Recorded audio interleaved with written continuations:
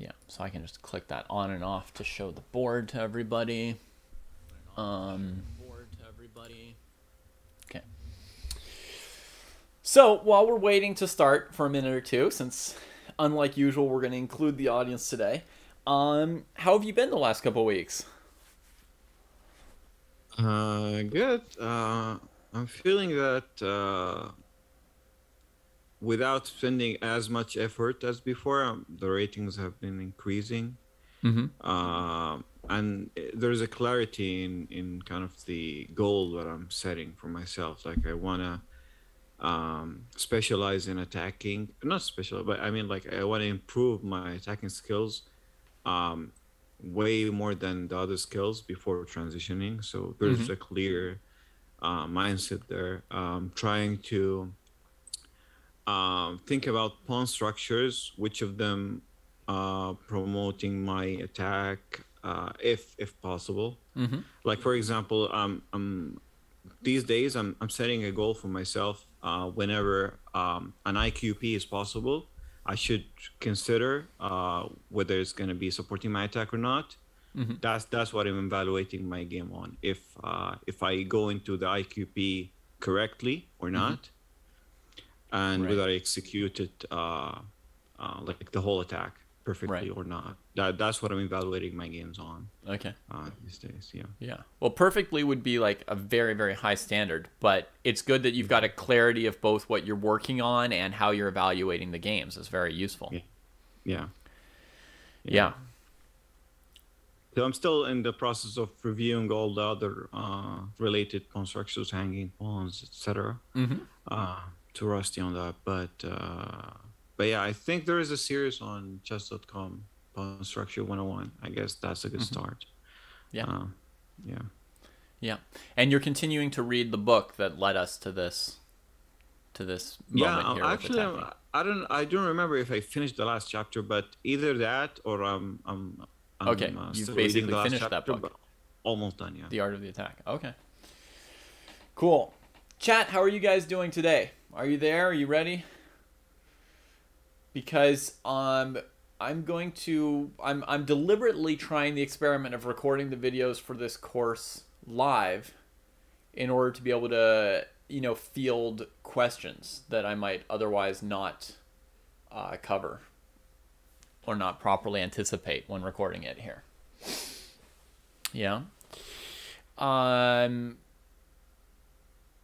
yeah, with the exception of like Eric, Eric, you're over 2000. So this course is aimed at players from like 1200 to 2000. So you can kind of keep your 2000 plus questions to yourself maybe, but everybody else Go get your food then, Eric. That's fine. Go get your food. um so um but so anyway, uh yeah, so in another minute or so we're going to start doing this video and normally when I do these lessons um with my private students, I ignore chat during the lessons. Today it's the opposite. I'm encouraging any questions that you have and um I will try to I mean, I'm not going to answer every question. That would become a terrible course. but but now and then one of your questions will improve the course. Right? So I won't get to every question, but like one or two questions here and there can be just what we need to maybe improve the whole thing. Um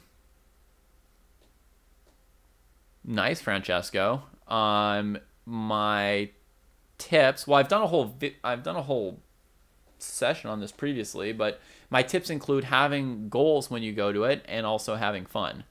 And also that any preparation you do should mimic the tournament situation as much as possible. So like, you know, if you can mimic the time controller, if you can mimic like mimic like how many hours a day it might be so you get a sense of the fatigue, right? Like if you've got a choice between doing 1 hour of study for 10 days or doing 10 hours of study on one day, try doing 10 hours of study on one day if that's like if that's how long you're going to be playing in your tournament right do that once to see what that sort of level of fatigue is going to be like for you or you know practice writing down your moves on a on a score sheet if you're playing games online or practice wearing a mask if your tournament's going to have a mask mandate so you can see what it's like to have a mask on for whatever four hours or five hours that you play a game. Anything you can do that like closely mimics it will be good. But yes you are broadly free to ask questions and i'll decide which ones to answer festivity exactly. Uh, questions about the course right? So once i start this lesson. Uh, I don't want like a question about like you know what book should I read tomorrow and like you know what videos should my niece watch and stuff like that right? It has to be about the material I'll be talking about. So I'll be talking about how to become a good attacker. Uh, this is going to be the intro video today. So anything I bring up you can ask for like clarifications or extensions or etc or you can say I think I understand what you're saying is this am I right or wrong that sort of thing. So, all right, let's do it, Maestro. Let's do it. Um, this video series is inspired by Maestro, and he is going to be my my live audio uh, student in this course. Um, and uh, yeah, so he's going to be here with me. Uh, Maestro, you can poke in at any point with any questions or thoughts or clarifications and all that. Um, and uh, okay. Whew. Let's see. Uh, let me see like the timestamp so I know where to cut it when I make when I try to make it a video later. All right, cool. All right, so welcome everybody to the first video in my new course on how to become a better attacker. Um, the purpose of this course and what I intend to do with it is to give you an understanding of attacks, the exercises, training techniques, and the resources that you need to become a great slayer of kings. And when we're talking about how to become a better attacker here, I didn't want to make the title any longer than it already is, but we're talking about attacking that king. We're not going after a doubled isolated pawn on the queen side and trying to like lay siege to it and win one pawn after 15 moves. No, we are trying to go into the enemy king's abode and slay that king where it stands. So that's the goal. That's what we're trying to get better at here. This is something that uh, Maestro wants to get better at. It is his current focus. Uh, it is an excellent focus. It's not the only way to win chess games, but it's a cool way to do it. So that's what we're going to work on here. Um, and the inspiration for this series of videos, I want to quickly say, comes from an excellent question that the maestro posed to me a couple weeks back. And essentially, he said, I'm reading The Art of Attack. I'm, you know, studying and trying to learn and understand uh, attacks from this book, but I feel like I'm never practicing attacks. Am I really going to learn it if I'm never actually like attacking and checkmating somebody's king? And also, these situations never seem to come up in my own games. Like, what's missing? Why am I not checkmating any kings. What do I do? Do I need that practice and how do I get that practice? I think that was a fantastic question. I felt very inspired. And so here it is, Maestro. Here it is. My approach. Uh, and a lot of this is new stuff that I came up with for you now. I hadn't thought through all of this before, all these exercises. But some of it comes from you. And some of it is stuff that I already worked on with uh, Finity and Baron. So I'll just throw their names out there too. We've been working. We've been working previously with them on some attacking uh, aspects. Uh, so I'll be able to port over a few things that I've done with them before and make it more systematic and clear for everybody. Perfect. All right. So, like most any skill, okay, um, attacking the king is something that you can practice and you can also break it down into smaller pieces. It sounds like attacking the king is like one subject and you can just practice it. But almost any skill that you can work on, you can also break it down into smaller pieces of that skill and then practice those. Like imagine if you were like, I'm going to practice my backhand. That might sound like just one thing to practice, but you could probably practice just holding the racket right? With no motion, no anything, not even being on a court. You could probably practice how to hold the racket. You could probably practice how to stand and what stance to use, right? You could probably practice running around on the court without hitting the ball and just Like someone could be hitting balls onto your side of the court, and all you're doing is just running and getting to the right spot and standing and stuff. Like, I, and I'm not a tennis coach, so I got no idea. But I would assume that you could break it down into probably like eight or 10 different small elements you could be practicing that would go into like becoming good at hitting a backhand. Um, so this attacking the king idea, I've broken it down into some smaller pieces. And I think with most skills, you can both practice them and practice the pieces. Now, also, some elements of a skill are going to be knowledge based. Like there's going to be stuff you have to know, and other things are going to be more like how you use something or how you do something, right? So you need a mix of knowledge and ability for most things. And uh, yeah, I'm planning to give you some of both here as needed. Um, this course is also going to include like a lot of resources. So it's going to be focused on giving you the direction for how to work on your attacking abilities and skills. It's not going to go over every single um, attacking idea there is. I'm not going to comprehensively show you every single sacrifice on h6, then every single sacrifice on g6, then every single sacrifice on f6, and then around on the seventh rank, right? But I'm going to point you towards uh, resources, and this uh, course includes not just these videos, but a lot of like handouts, basically, um, exercise sheets or descriptions of exercises to do, and so forth. So let's bring in the very first thing. What the first thing that you need to know in order to attack is you need a basic understanding of the fact that an attack is made up of multiple stages. And I can only talk about how to practice and get better at these things once you know what all these stages are. So that's the topic of our intro video today. So the stages of attack, um, there are something called preconditions for an attack. So these will occur when many players have no idea that like an attack might appear yet. So there's preconditions, things that make it possible or plausible or a good idea to attack. These things can appear on their own or you can create them deliberately, but we'll go through each of these elements uh, one at a time uh, with examples in a moment.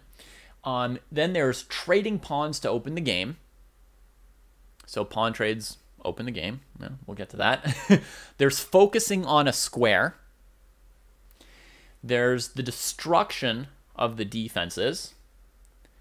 There's bringing reserves. And then finally, there's checkmate combinations.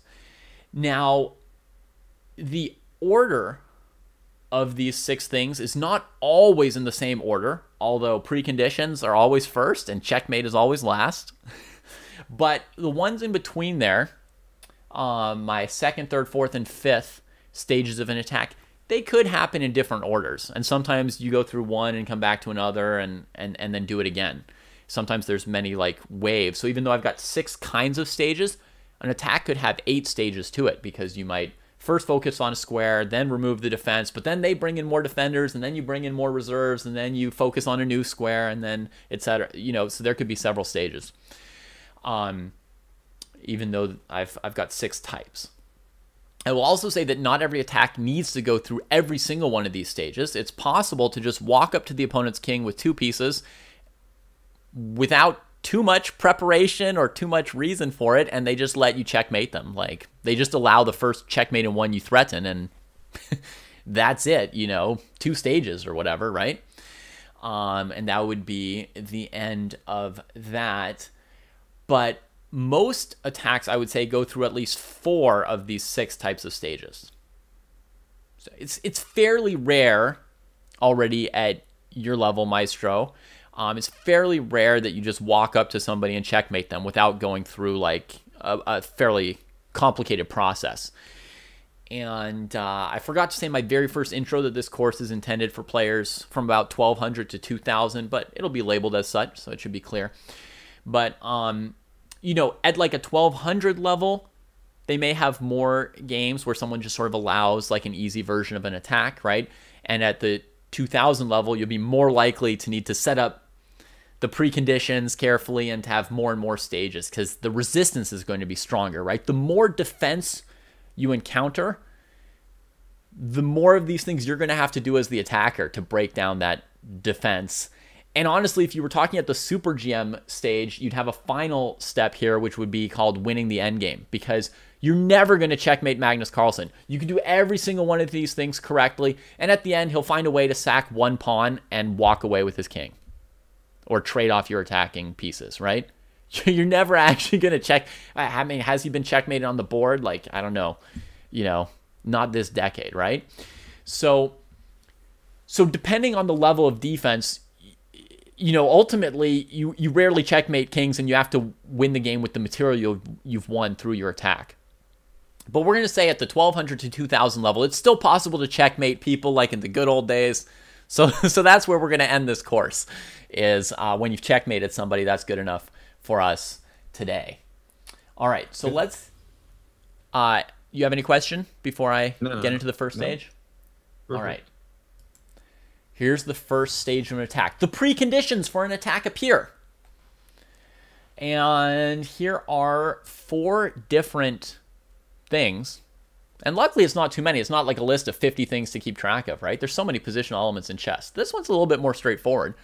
There's four things that would be the preconditions for attacking a king. Um, one is you've got pieces near their king. Um, the second would be that you have a space advantage near their king. Space advantage would basically allow you to then bring pieces near their king, right? Another would be the king is exposed and has no pawn cover. Even if you don't have pieces near their king, if their king has no pawn cover, that could be something that encourages you to bring your pieces near their king, right? Or, or one of the other things, right? And finally, kings in different areas of the board. That on its own is a precondition or a possible justification for looking for an attack. So um, I'm going to create a new board here real quick and just add a couple of these examples. So Maestro, I will add you to this board. One more board. Um, so I'm just going to start with, you know, like a very simple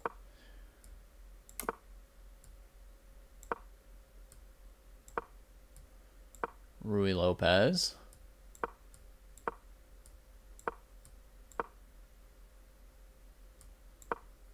But now I'm playing very weird moves on purpose, right? Okay. So now already, if you look at this position, you could say that you've got a possible justification for attack in the kings being on different sides of the board. That on its own could be enough.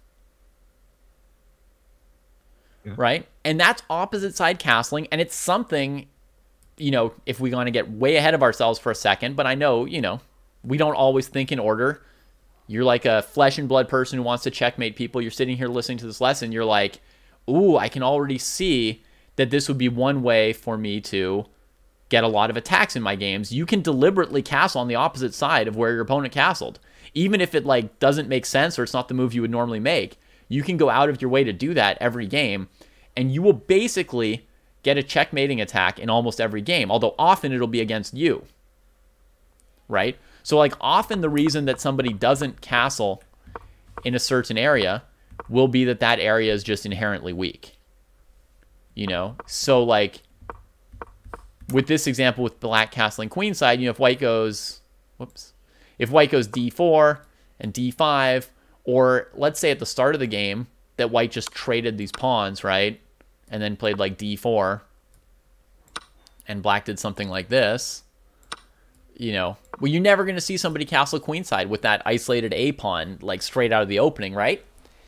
But if you went into your games and you said, hey, we're going to get checkmating attacks every game, you can almost ensure that, nearly ensure that. You could get like a 90% incidence of checkmating attacks if you castle to an opposite side as your opponent. It's just very often it'll be your king that gets attacked, right? So, like here, I can make this like super silly on purpose. We can castle queenside for black. White plays queen a7, threatening queen a8 mate. And we see that black has successfully created a mating attack in this game. It's just that, you know, it's against them. Detail. But that on its own is a justification. Um, and we see in these random positions I just showed another justification for uh, kingside attack. Um, in this case here, the black king is lacking pawn cover, right? With the b pawn having traded and then we sack the a pawn. White only has one piece there, but white would be encouraged to, you know, try to checkmate the black king anyway. Or in the other variation I showed you with white playing g4, bishop g6, c3. Here, castling queenside might not be as bad for black because white has messed with the pawn cover on their own king, which was number three on my list, the exposed king. So white's already exposed their own king somewhat, and that gives black extra reason to be like, hey, let's create a king attacking kind of position. Black could also just leave the king in the center. That would count as being in a different region than white's king, and would again allow black to play a move like h5 right away without castling queenside. Okay, um, let me try and show you one of the other examples. I'll just play the French defense. The French defense is going to come up a lot because it's one of the easiest ways to just get a space advantage on the king side for one player. So we'll play like f4. I'll have black play normal moves and sort of like fight back a little bit. Um,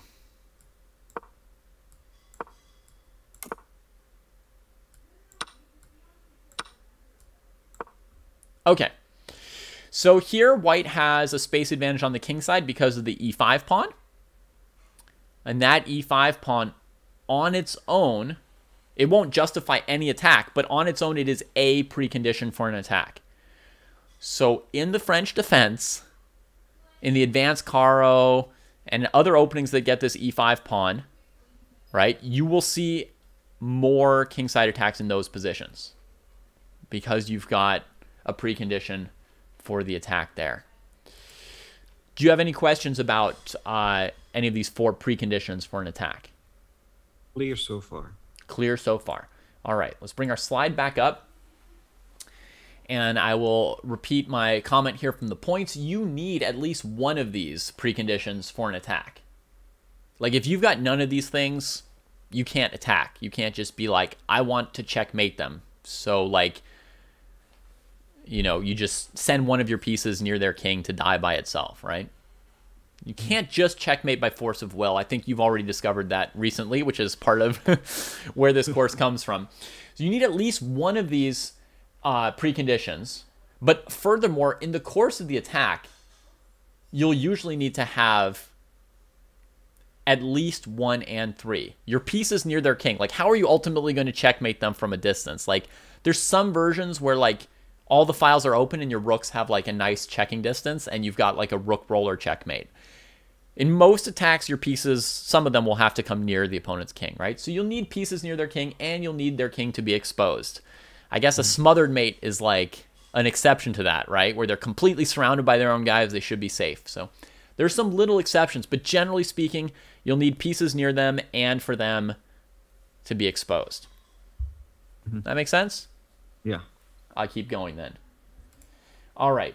What is opening lines? Well, opening lines is trading pawns. Trading pawns is opening lines. Every time you trade pawns, you open at least a file and often like some diagonal, depending on whether or not there are there are bishops. But anyway, opening lines could be files or diagonals. Uh, open lines are critical because you know the majority of your pieces move on either files or diagonals, and that's the firepower you need to checkmate their king. So if all those lines are blocked, by definition, you're not even checking the opponent, much less checkmating them. So you have to open lines. That much makes sense. And uh, I want to mention that this one can come before or after the uh, focusing on a square. Oh. I'm going to have a problem here in a second. But anyway, let me just show you an example here.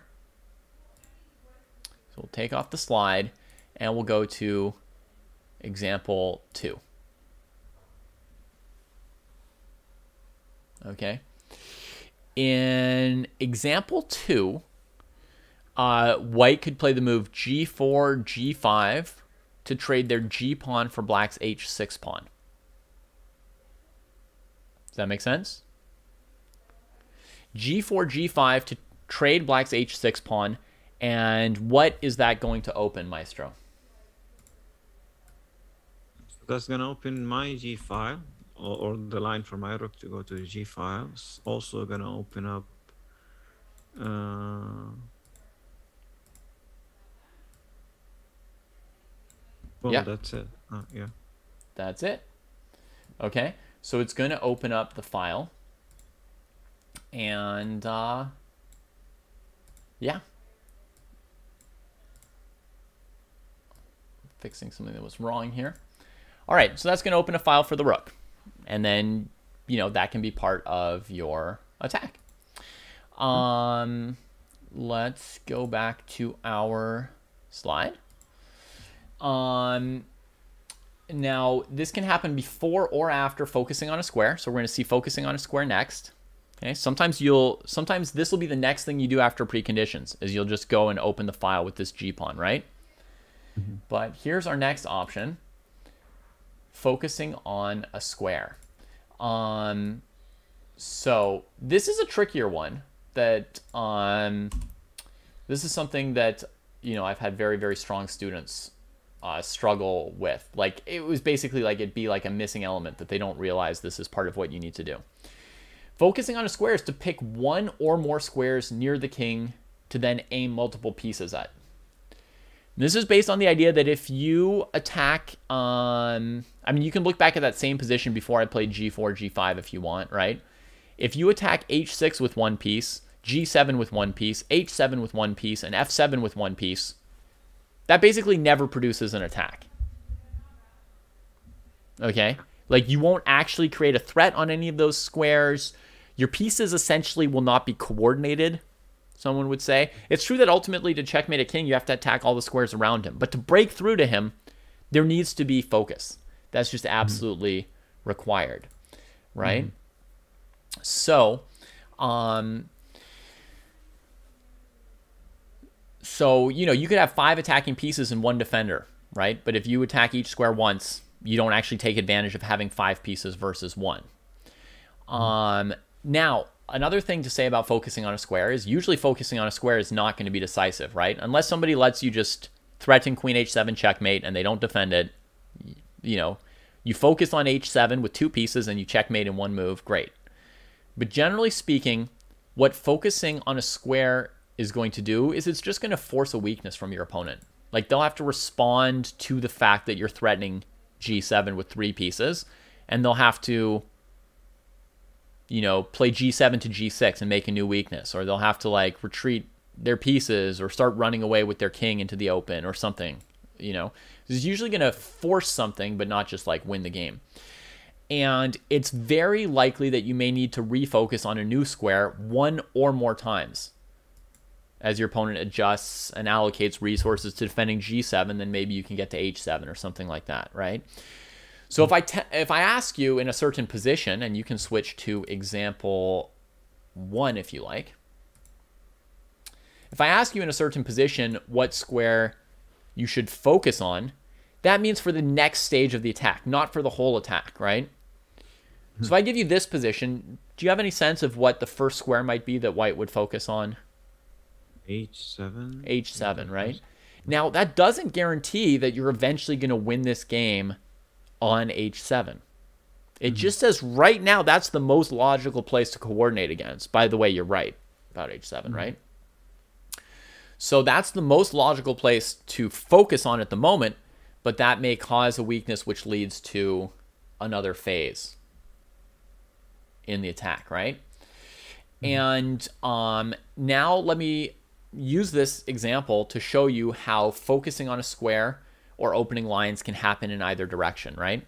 So from this example that you have here, most attackers would start with knight to g5 if it lets me let go of this pawn. Okay, right? Normally they would start with knight to g5. Um, let me turn this on. Okay. Normally they would start with knight g5, threatening queen h7 checkmate. And typically black would play the move g6 to prevent it right? Now that there's a pawn on g6, white might switch from focusing on a square to opening a line. Mm-hmm. Right? And here, what would be opening a line? Um, maybe h4, h5. h4, h5, right? And then you'll trade on g6. Now, if you're successful with that next like two-step plan, once you've done that, you will now pick a new square to focus on. Hey, maybe it'll be h7 and h8 again if the h file opens up for your rook on h1, right? Mm-hmm. Or maybe not. Now, you've got another option here. You could you could still focus on h7 and try and create more weakness with queen h3. Maybe they play h5, and then again you're going to switch to opening lines with g4. Mm-hmm. And you know, attacking is going to get tricky. These are very basic examples, but you can already see that we've got a choice between trying to open the H file or the G file. Like Queen H3 made more weaknesses, which is good, but now with G4, we're opening a file that doesn't look as good. For one thing, our rook's not on it, and the G6 pawn is still defended, right? So if you compare that with my first option of going H4, H5, the opponent doesn't yet have as many weaknesses, but you're opening the rook on h1, so that might even be better, right? So th- there are hard decisions that are going to come up soon, but you can already see the mechanism, right? You focus on something, maybe you make a weakness, then you open a file, right? If you go back to example two, we can do the opposite thing. In example two, we can go, you know, like g4. Wait, it didn't let me, sorry g4. there we go. Bishop d7, g5. Pawn takes. Bishop takes, let's say. And rook c8. Well, now we're picking a new square to focus on, right? And now that's going to be g7, right? It's because we've got that file. So we play rook g1. We focus on g7. So this one we went from opening a file to then focusing on a square. Last one we went from focusing on a square to then having the means to open a file. And that can switch again and again. Here you might attack g7 until you force your opponent to play g6. Then you might focus on g6 instead of g7. You might play h4, h5. You might play bishop d3 takes on g6. You have different kinds of options. But you can see how as you start to get the idea of how these things play together, it starts to become logical to pick up what your next options are even if it's still going to be tricky to pick them and calculate them later, right? But that's why I said the order of these stages is not set in stone, right? You can just as easily focus on a square and then open a line or open a line and then focus on a square. It can go either way quite easily. Okay, now we'll get to the next phase, unless you've got any questions here. Uh, actually, I just wanted to um, comment on this point because Mm-hmm. focusing on a square was really the toughest point that I've come across in the Art of Attack book. Mm-hmm. And usually I'm just like consistently wrong about finding these uh, squares. Like, uh, Which because which some of the, po- like, yeah, exactly. Some of the positions are really complex and uh, I don't sense an kind of a clear uh, plan for an attack. And then Mm-hmm. the author just points out um, uh, a, a weak square or something right. and i'm like i'm consistent about that point like i'm always failing it so so it's a tough one and um i'm still not getting a sense on how to i guess i guess it comes with practice i don't know but maybe uh, you'll see a few videos from now.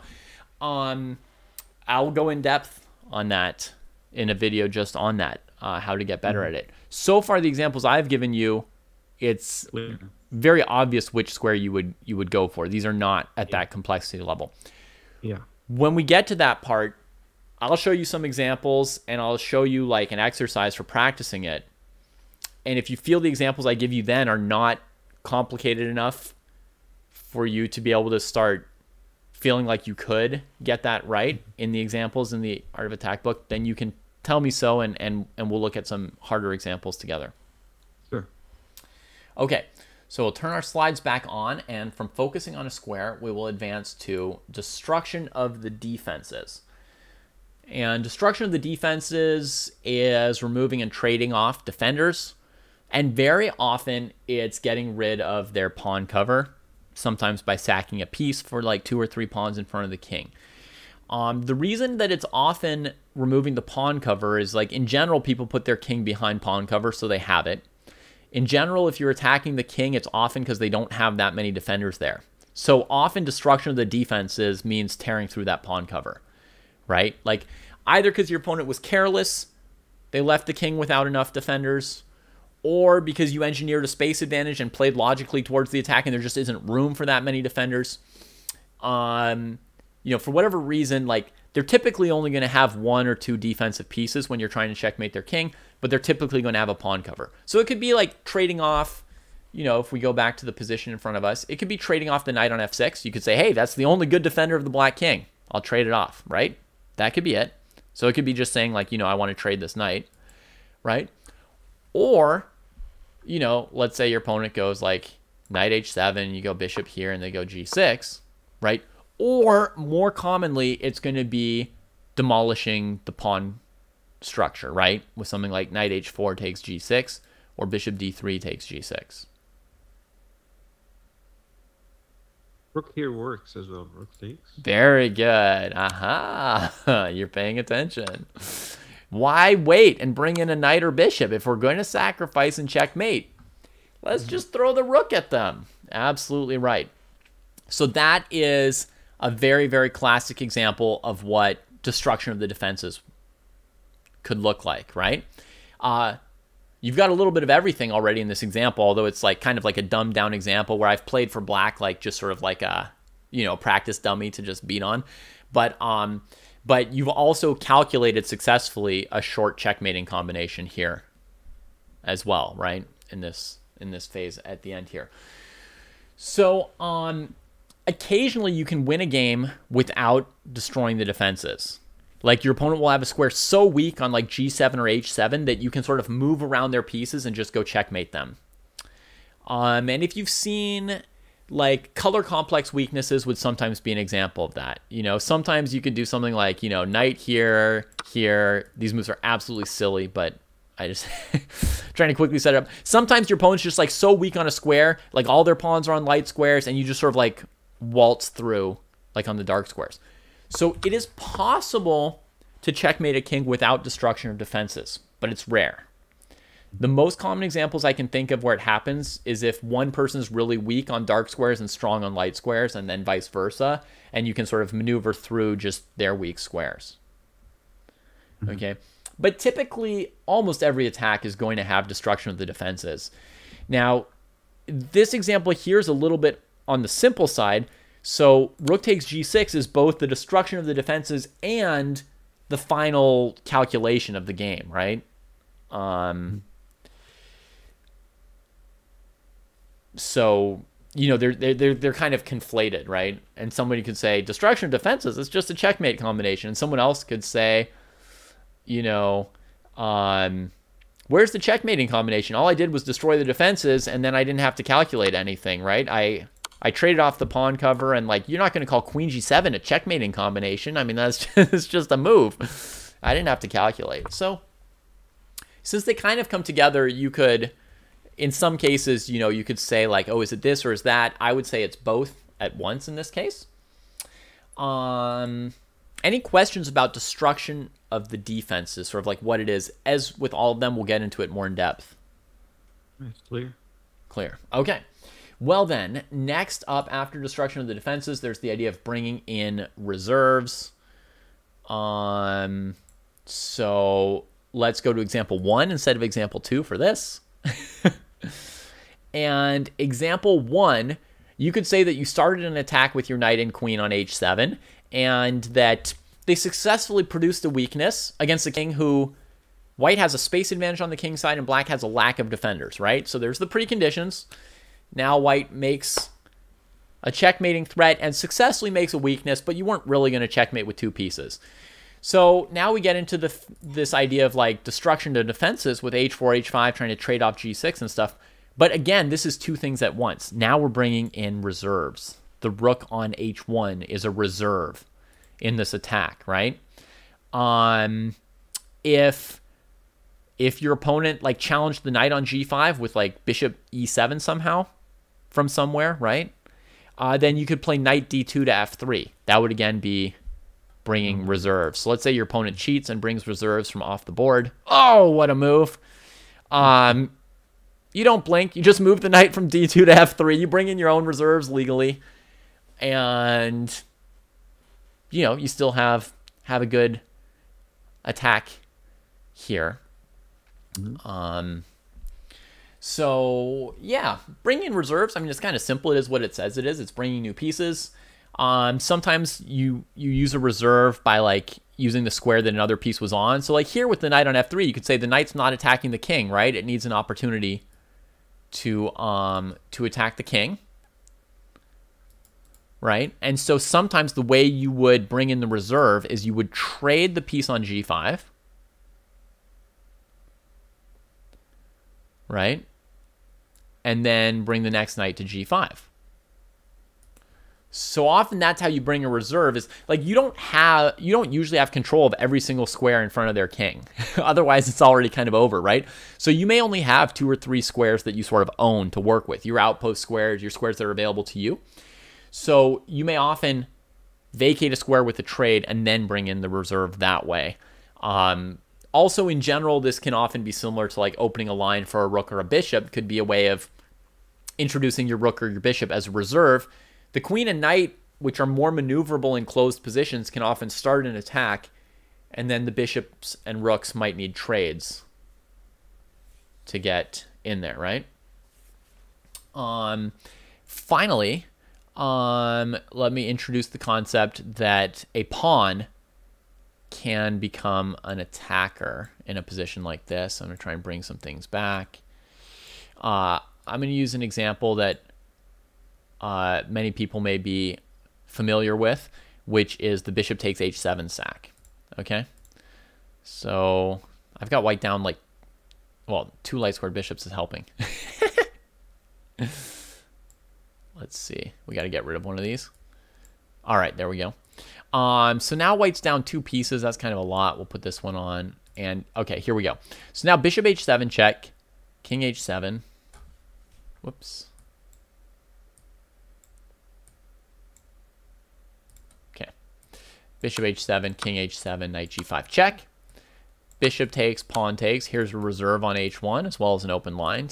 King here, queen h5, threatening checkmate. So we've got focus now, right? Focus on h8. We're also starting to calculate some short checkmating ideas, right? Like, oh, queen h7 would be mate, you know? If the rook moves, how are we going to give checkmate? So f5, clearing an escape square for the king, right? And this pawn on h4 is replacing an attacking knight on g5 that was covering f7 and h7, right? And now this pawn goes up to g6.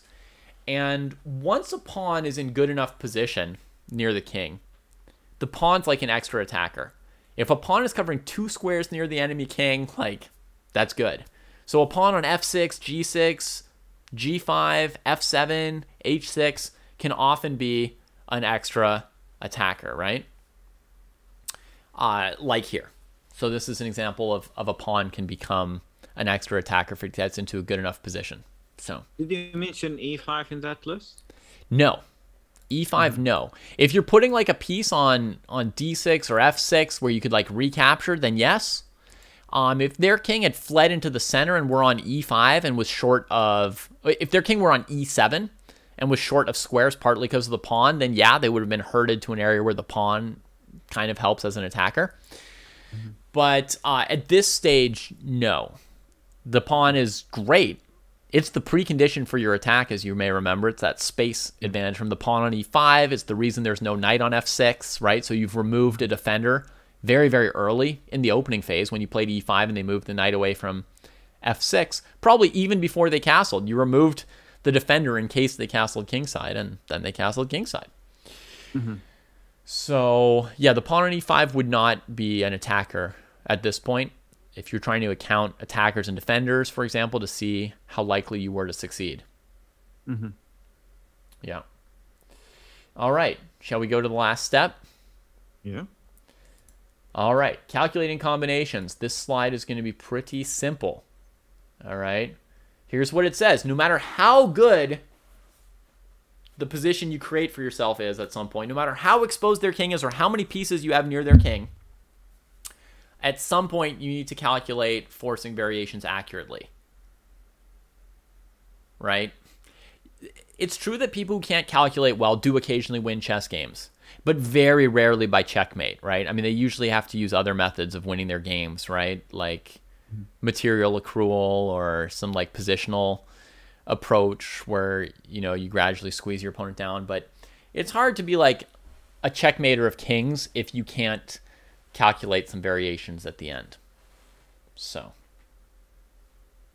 there it is. That's the final stage of an attack and the final like necessary qualification for a would-be checkmater. It's to be able to deliver a checkmate. Um, Perfect. You know, and it's something like when you play bishop takes h7 in a position like this, seeing the move g6 already coming. That's not like an easy calculation for a player at like a 1500 to 1600 level. The only reason that a 1500 or 1600 might see that move coming in advance is because they're familiar with some of the themes around bishop h7. If they have a familiarity with a certain set of attacking ideas, then they can see it coming three or four moves ahead. Otherwise, that's like a pretty long calculation, four moves ahead to see that that g pawn coming to g6 takes away that escape square. Um, but that's an example of that. And um, now I'm going to play through a full game for you. So you can see all the phases Nice. of an attack. So you're going to turn to the analysis board called Game. Mm-hmm. And we're done with slides for today. Woo! So uh, this is Game. And I'll provide one little note about this game here. I believe this game was played a week after I had beaten this opponent with the King's Gambit. And it's the one and only time I can think of someone being afraid of the King's Gambit and switching openings away from the King's Gambit as black. So they didn't play e5 because of the King's Gambit. So anyway, we get a Pirc defense with an Austrian attack. All right. And at this point, the first precondition for an attack has already appeared. And what is that? A5 pawn. E5 pawn. You're ready to teach this course for me. Perfect. so the E5 pawn. Are the kings in different areas? Well, white could leave the king in the center, castle queenside. So mm-hmm. that's possible. Is the black king exposed? No. Not yet. No. Does white have a preponderance of pieces near the black king? No. Mm, not yet. So we're very, very far away from like dreaming of checkmate from a certain perspective, right? Mm-hmm. But the pawn on e5 is already one of those preconditions, which means if you want to, you can already start thinking about it. And you may know this just from knowing me or from the context of this course, but I, at this stage, already anticipate the possibility of a kingside attack. The mm-hmm. moment I'm playing e5, it's deliberately to create one of the preconditions because I would like to checkmate, please, and thank you. Mm-hmm. So, knight to d5 is played, right? The black knight. One defender has been removed, but black's got plenty. But look at this. White slips past that knight and heads towards the king side rather than trading the knight that's now central. I mean, it's on a fine square on d5, but white's saying, okay, maybe maybe I'll go accumulate pieces on the king side, right? Mhm. Okay, knight c6, challenging d4. This telegraphs, though, that black's going to play f6. Normally, you would try and undermine white's structure with the c5 move. So if black blocks their own c pawn with knight c6, it's not because they're really pressuring d4, it's because they're getting ready to fight for e5. We overprotect d4 anyway, even though we see f6 coming. And now bishop c4. And it turns out black doesn't want to open the queen attacking the knight on d5. So they move the king off that diagonal. Mm-hmm. And now white castles. What? That's not a precondition for attack. Well, no, but you know, the center was going to get opened faster than the king side. So the center was not a good place for the king. Again, as I said, you could get an attack here. You could ensure that the game is decided by checkmating attacks if you leave your king in the center as white. You can mm-hmm. ensure that. That's enough. You know, if you leave your king on e1, then your opponent's got reason to trade on e5. And if their king's here, you could play h4 right now. Mm-hmm. Right? Try and bring the rook, try and open lines, try and trade off some of their pawn cover. Oh, yeah, you'll get a checkmating attack here. It's just mm-hmm. that I judged that when black takes on e5 and the d and f files are both already open and we haven't yet played h5, I just judged there was a very good chance that black's attack would come first. Mm-hmm. However, it's clearly a mess. You could outplay somebody. Who knows who's going to get checkmated first here, right? Hmm. Yeah. What we do know is from a perspective of understanding the preconditions for an attack. The preconditions are there. This game is going to have an attack. Two, in fact, at the same time. So that's an option, but white castles. Now, black calculated some variations that show that trading on e5 doesn't work, even now. So they changed their mind. I'm not going to give you long variations because we're just trying to talk about what the stages of the attack are, right? So black plays f5, which could give black some space on the king side, right? As they gain space, they could neutralize white's space advantage. Here comes a piece towards the king side, right? Black plays h6. Now, preconditions for attack. We've got the space advantage on e5. We don't have a preponderance of pieces near the enemy king, but we already have a decent degree of access, right? The bishop's on an open diagonal there. This bishop's there. This knight's definitely in the king's face. This one's a reserve. The rook's got a semi-open file, so it could at least lift. And of course, the queen has avenues as well, right? We've got another precondition which has appeared, which is the black king's pawn cover. He still has all the pawns, but when you've advanced them all, I would consider that a compromised pawn cover. So we can already say that white's got all the preconditions for an attack. Some of them white only has half, but like you've got the preconditions for attack are all poking up here, okay? Now, I didn't pick a game that's played perfectly. There's mistakes in this game and you know, I have a video already where I've analyzed this game. My goal is just to show it to you to, to illustrate the phases. So what white does here is they play queen e1. Bring another piece to attack the king, right? What square does white have in mind to focus on? Because white already has an idea of focus. White's already decided the preconditions are there. We're bringing pieces there. We're going for an attack. The attack is go. White's already decided that. By the time white decides that, they already have an idea of where to focus. I would say h7. H7? H7's hard to get to at the moment. Oh, you're thinking, you're assuming black's going to take the knight, the next knight's going to come, and then white will have an avenue to H7. Yeah. Okay. If we were going to go after H7, we'd have to know that we can force black to take the knight, not just that black can take the knight. So mm-hmm. white's first focus square is H6. The threat is to go queen h4, then move the knight and play bishop takes h6. That's white's chosen focus point with queen e1. Mm-hmm. Mm-hmm. Now, of course, if black takes the knight, as we said, the focus square can change quickly. And it's not like white didn't anticipate that on pawn g5, knight g5, then the focus square would become h7 exactly as you said. Mm-hmm. Right? So it can switch very quickly. But at the mo- but you have to have in mind like how you're going to break through first, right? Okay. Yeah. And here where white plays queen e1, there are two logical focus squares white could have chosen between. One was h6. Do you know what the other one is? I know this is a very tough thing for you, but just in case you know. Chat, you can you can guess as well. What's the alternative focus square here? Maybe um, g6 if, if the queen goes to g3. G6. Exactly right. G6 is undefended. It's quite near the opponent's king. So as you said, Maestro, you could go queen e1 to g3. There's also the move knight h4 here. Which is surprised because you want this knight to go to g5. So it's like, it's a hard move to see. But it, if your focus is g6, if for some reason you thought g6 is a square, like what do I do? Then you can come up with this move. Hmm. Right? The pawn is actually basically indefensible because of queen e8, bishop d5.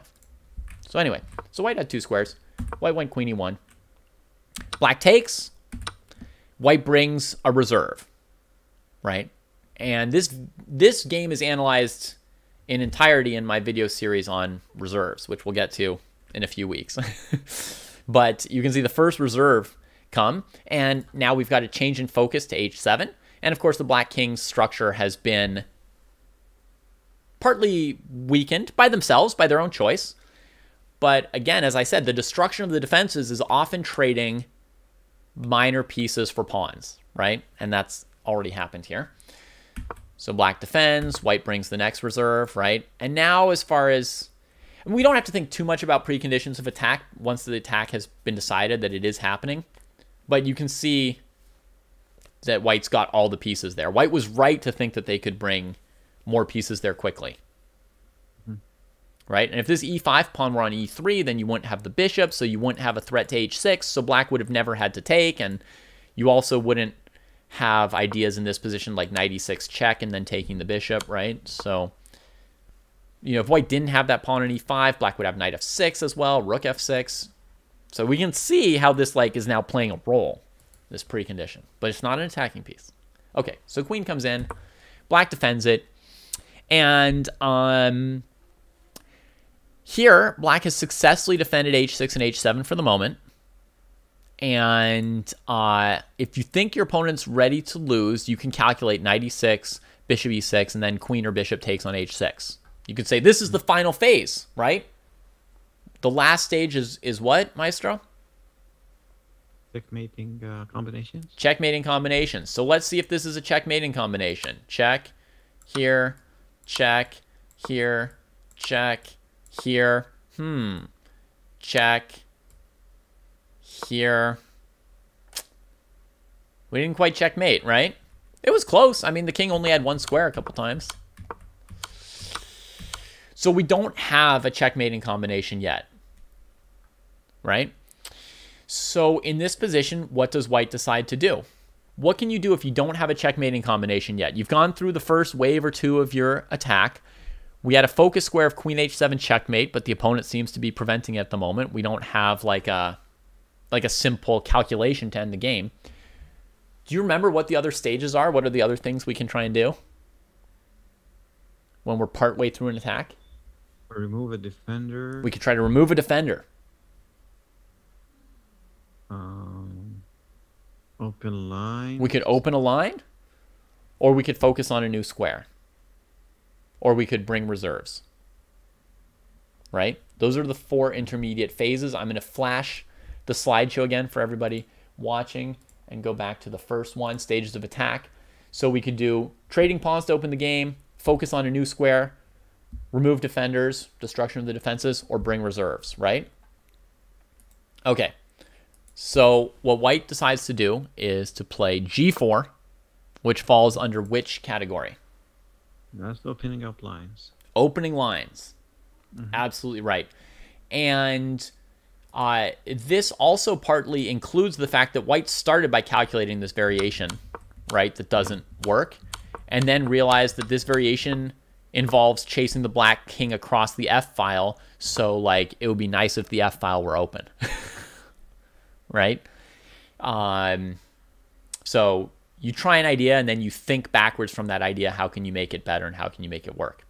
All right, mm-hmm. So black does a trade. And then so that's both a trade of an attacker and a defender, and that's why this game it's so important to understand from a perspective of reserves. Every time there are going to be trades, you ask yourself, who's going to be able to bring in new pieces? Because now there's new squares available, right? Like the black rook can come defend on these h7, h6 squares on the h file now, right? Um, you know, yeah, I was wondering why the bishop didn't take on g5. and now, since white doesn't have a knight here, white could put the queen or the bishop there, right? And I think the reason the bishop didn't come was probably the rook h8 covering mm-hmm. h6 and chasing white's queen back. Mm-hmm. Um, so the queen comes, and um, yeah, now white's basically threatening to do something like check, check. You know, when the king goes to e8, you just win the pawn on g6 and then play gf5. And then mm-hmm. Sort of, then the pawns become attackers, right? Because they're getting to e6 and f6 and they're taking all the squares. So black plays f4 now to try and block out white's bishop and rook. Okay. So now here's what white does. And I'm just going to ask you if you can identify which of the phases this is. White plays bishop d3. What phases would you call would you say this is related to? Focal points. Okay, new focus point, right? We've given up on h6 and h7, right? We don't have the knight to go to h7. We don't have the bishop to go to h6, right? So we're changing focal points. Mm-hmm. And depending on whether or not you think this bishop is part of the attack, I think it sort of is, but you could also call it like reserves, right? If you're like switching the focus of a piece. I would say this is more in line of changing focus, right? Like the bishop was already well placed on c4. We're just changing focus. Okay. Black defends it. H4. What phase is h4? Uh, opening up light. Opening lines. Does white do white's moves have focus to them, would you say? Does this move connect with queen g5 and bishop d3? Oh yeah. Yeah. So definitely white has focus this game. They're not like, oh, h6, oh, g6, like randomly. No. They're they're looking at where can they actually overpower black, where could they bring bring more attackers than defenders, and then they pick that new focus, right? So h4 mm-hmm. comes, threatening h5. Yeah. Now, black sees as the only way to defend g6 to play knight e7. And so black plays e6 to create this defensive move. Mm-hmm. Okay? But remember, focus on one square creates a new weakness. White now switches their focus from g6 just after getting this one different move from black. White says, you know what? Yeah, I don't want to trade everything on g6 after knight e7, right? So white now simply trades everything on f4. What phase is this move here? Or phase is, because sometimes they overlap.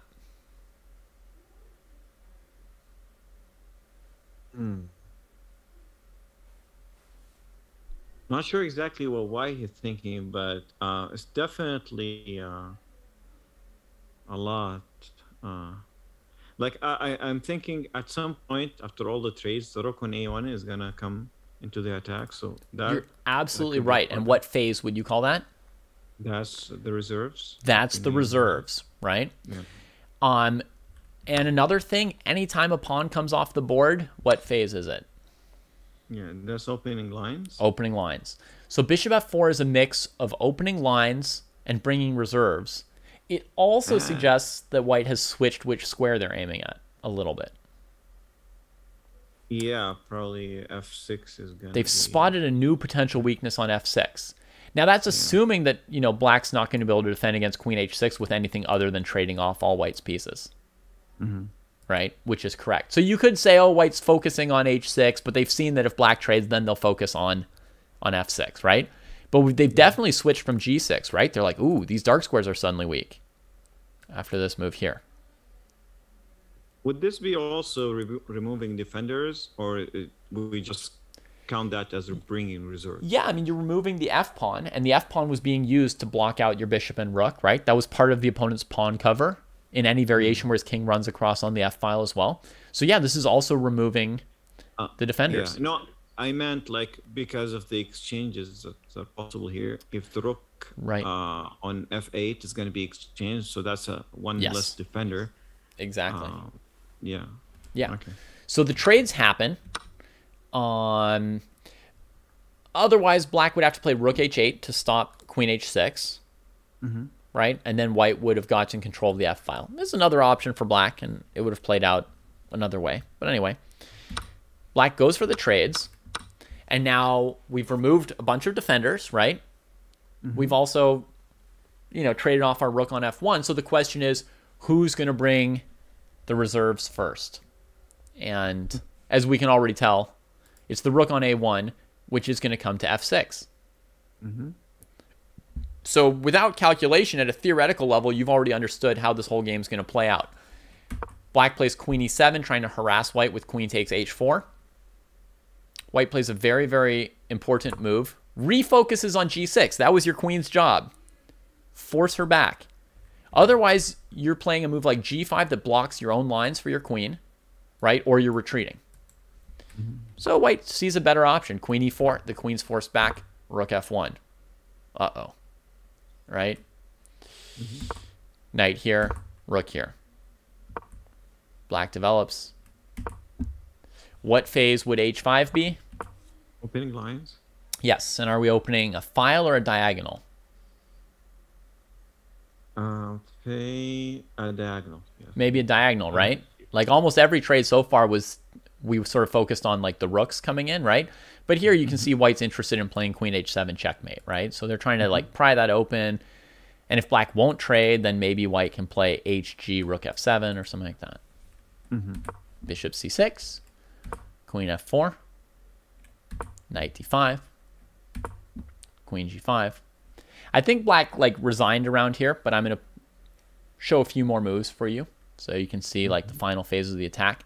Here, at this point, you should probably have calculated a little something for white. You know, if you like allowed the queen and rook to get attacked, unless you're really confident in like how reserves work. But who's the reserve attacker here?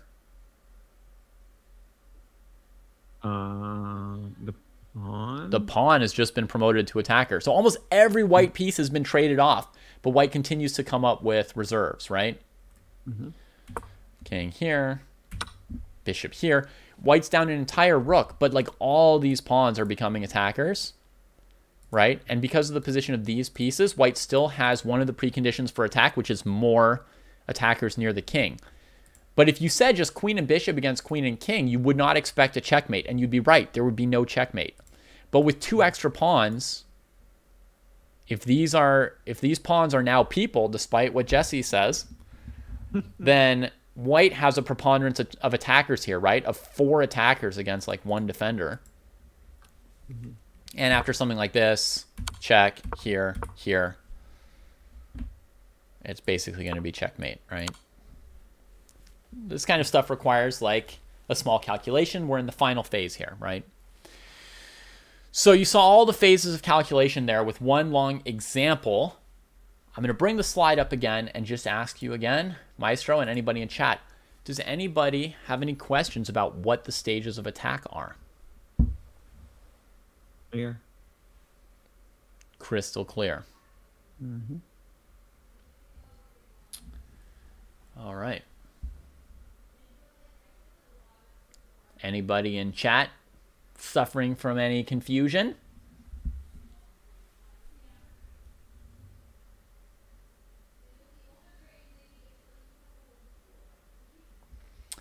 In a game, do you actively think about the stage of an attack? Great question right there. All right. I'm glad we're doing it like this. Okay, that's a great question. Is that something that it's like helpful to think about during your game to be like, have I checked off the stages of attack? To some extent, yes. I think yes. Like, first of all, you shouldn't launch an attack if you haven't thought about whether you've got the preconditions for it, right? And then, if you try to attack without picking a focus square, well, you're not going to succeed, right? So, as I said, the stages from stage two through five trading pawns, focusing on a square, destruction defenses, and bringing reserves they can actually go in almost any order, right? And this game you guys just saw, you saw waves of attack, right? And it's not like white brought in reserves once.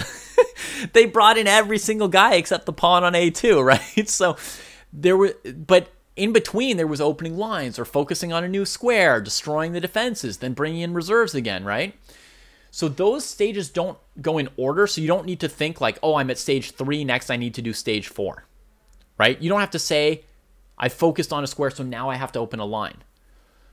But you do need to do almost all of these things. So when you're looking for like attacking ideas, the way you're going to come up with attacking ideas is by asking yourself questions like what square should I focus on or how can I open a file for my rook or my bishop? Right?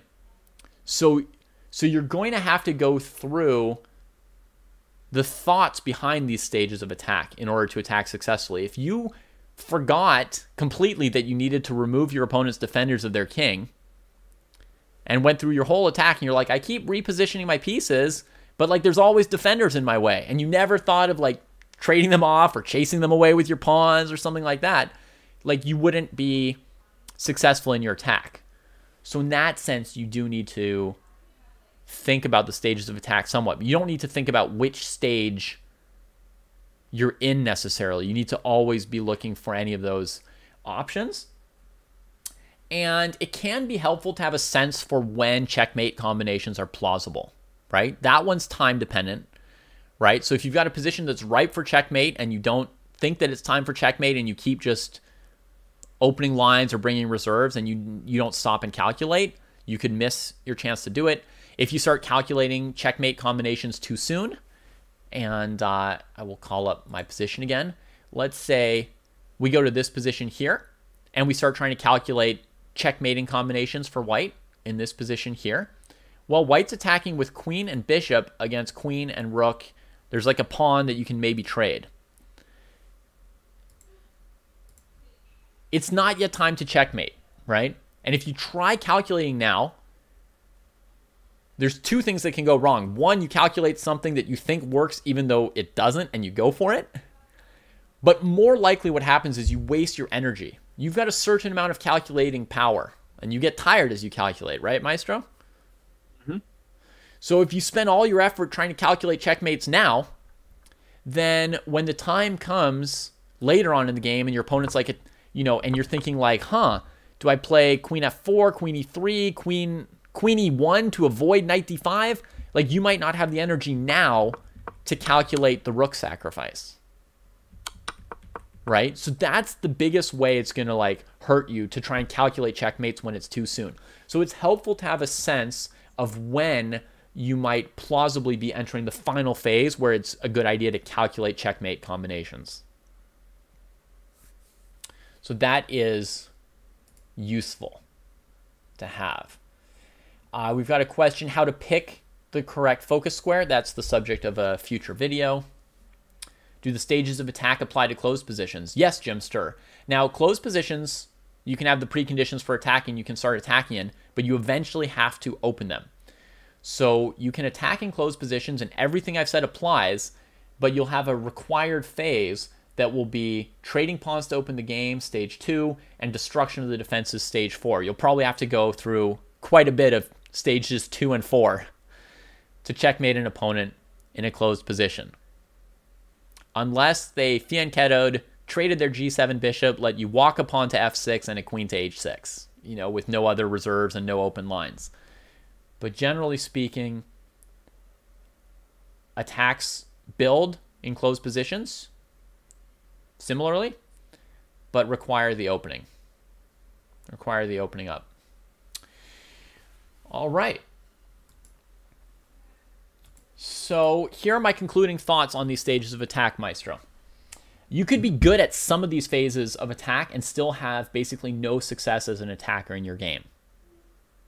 You could be great at, um, you could know every checkmate pattern, but never have like an actual attacking position. So you never checkmate anybody. You sit there like trading pawns on the queen side and in your head, you've got 2,000 diagrams of cool little checkmates, but they're not coming up, right?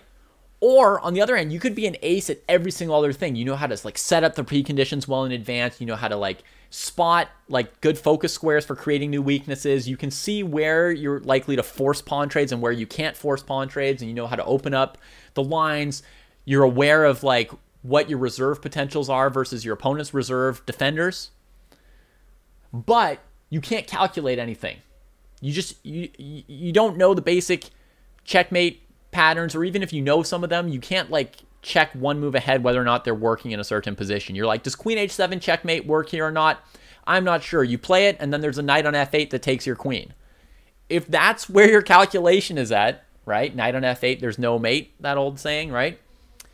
If your calculation is at that phase, then you will never have successful attacks either, despite being great at all the other phases. Okay, so that's an important thing to realize, right? You'll you'll have checkmates on the board, and you just won't see them or play them in that final scenario, right? So ultimately, to be a great attacker, you're going to need all of these. You're going to have to have some ability at all of these things. And I intend to show you how to build that ability. Perfect. Looking forward to that. All right till the next lesson, everybody, take care, prepare yourselves. There's more to come, and uh, you will need to be actively engaged in this to get the most out of these videos and the course materials that are coming along with them. So I know right now I'm talking at you and you're just sort of like sitting there, but wake up, get active, get ready, because the material's coming. And if you want to, you can become a terrific king attacker. There's nothing that can prevent you except yourself. All right, so we'll cut it there for that video. Um, thank you everybody for participating. Um, whether I happen to notice and use your questions or not, um, there were definitely good questions and they were helpful. Um, the next video in this series is one which won't be recorded live because Maestro doesn't need it. But I intend to record video three live next Thursday at the same time with Maestro. Okay, so that's our plan for next week. Um, is to record video three live, and as long as this seems to work well, we'll continue recording all these videos live. They will eventually be a course which you'll be able to purchase from the Dojo shop. Um, but uh, for the moment, if uh, if you if you don't anticipate having two dollars in a couple months when when the course is complete, um, you can you can schedule 8 p.m. Thursday and catch these live, and uh, then you won't have all the course materials, but at least you'll have heard what all the exercises are, and most of them you can figure out on your own.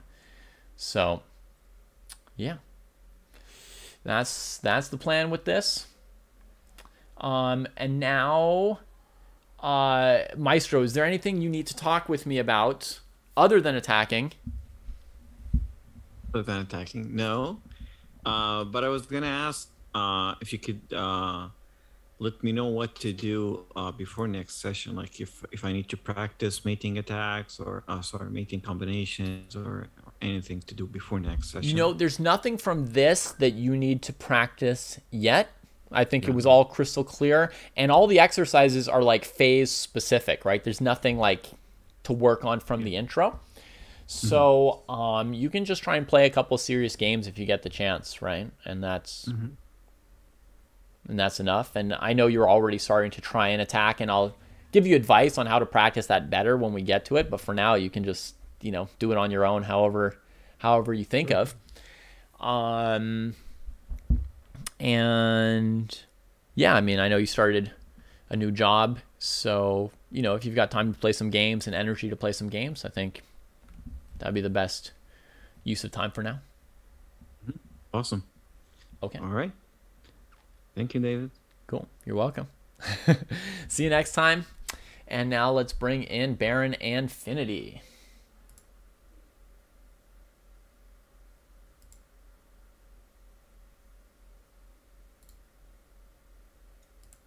Uh,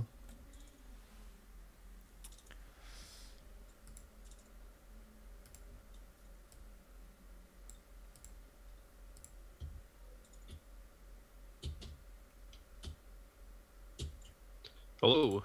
Hey.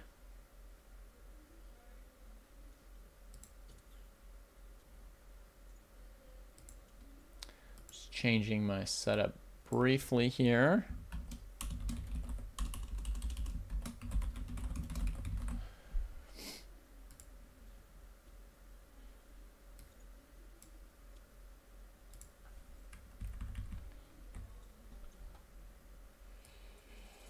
How are you two doing?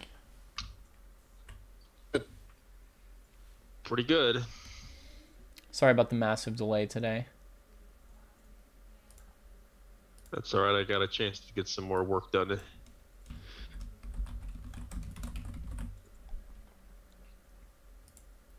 All right. I've changed my setup and the course information and everything should be fine here. Um okay. So, um so Baron, uh you said that you uh put some games up.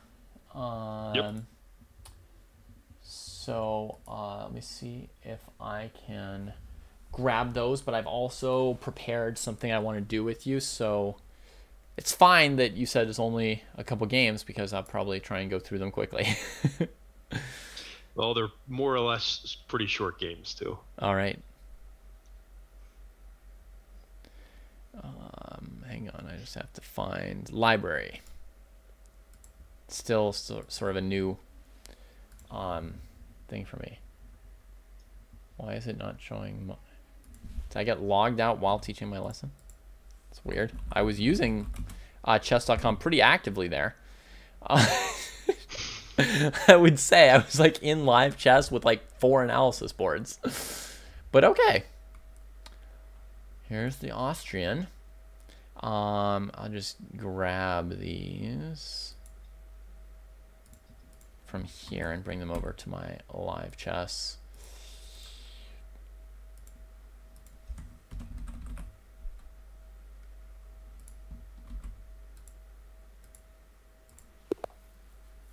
Okay, and I will invite you guys to the board in live chess.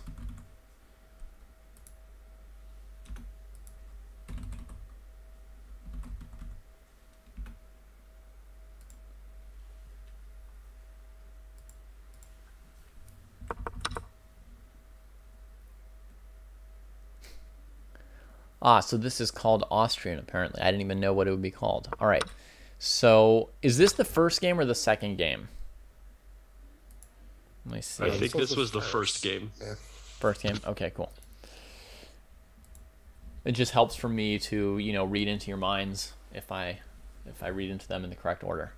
All right, so white takes the pawn on c5, black pushes for space. Queen a5 fighting directly tactically with the queen. White develops and accepts that black has a good center. Black looks like they might want to castle queenside quickly. Doesn't have time to save the bishop pair. Just has the center there and here. Now white wants to just shred it if they can.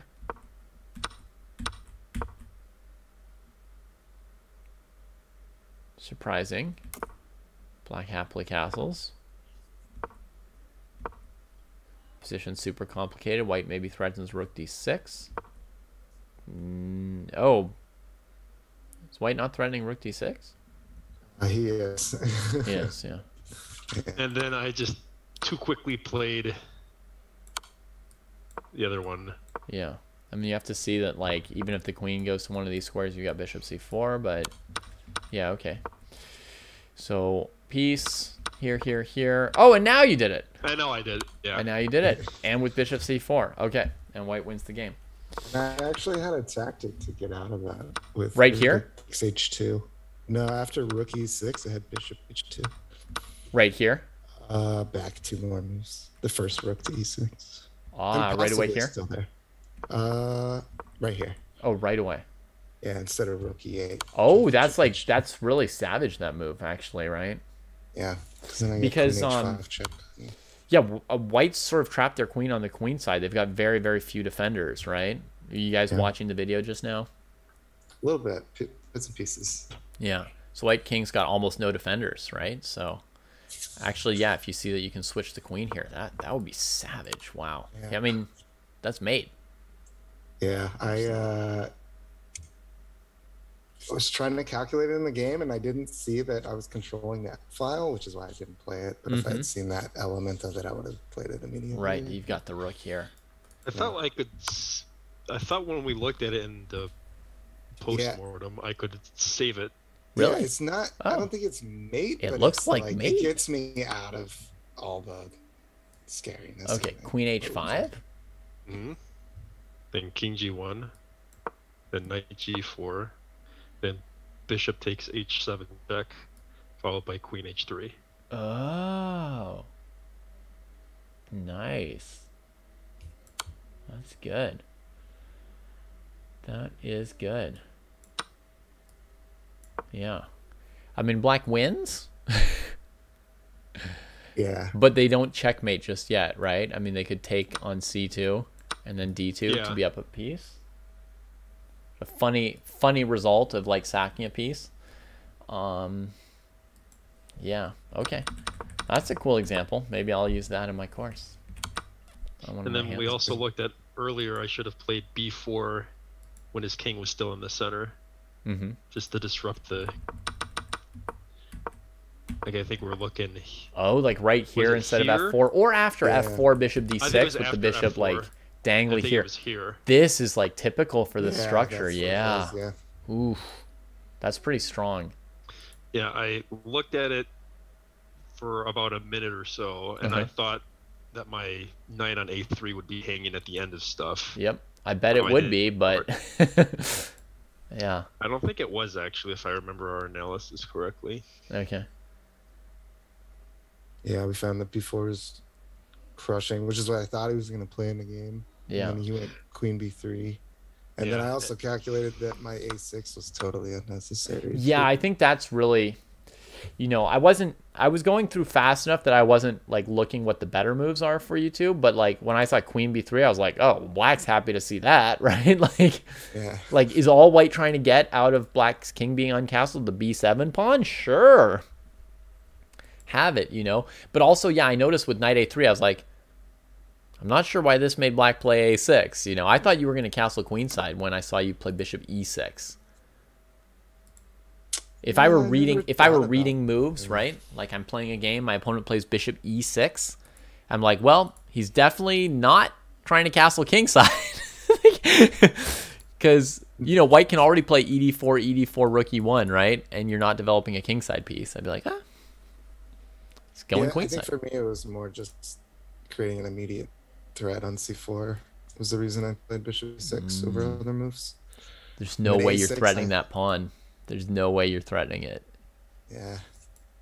Well, I want. I don't know. I wanted him to deal with that. I wanted him to play b3 is what I wanted him to play. Well, yes, Yeah. I would love if my opponents would like play b3.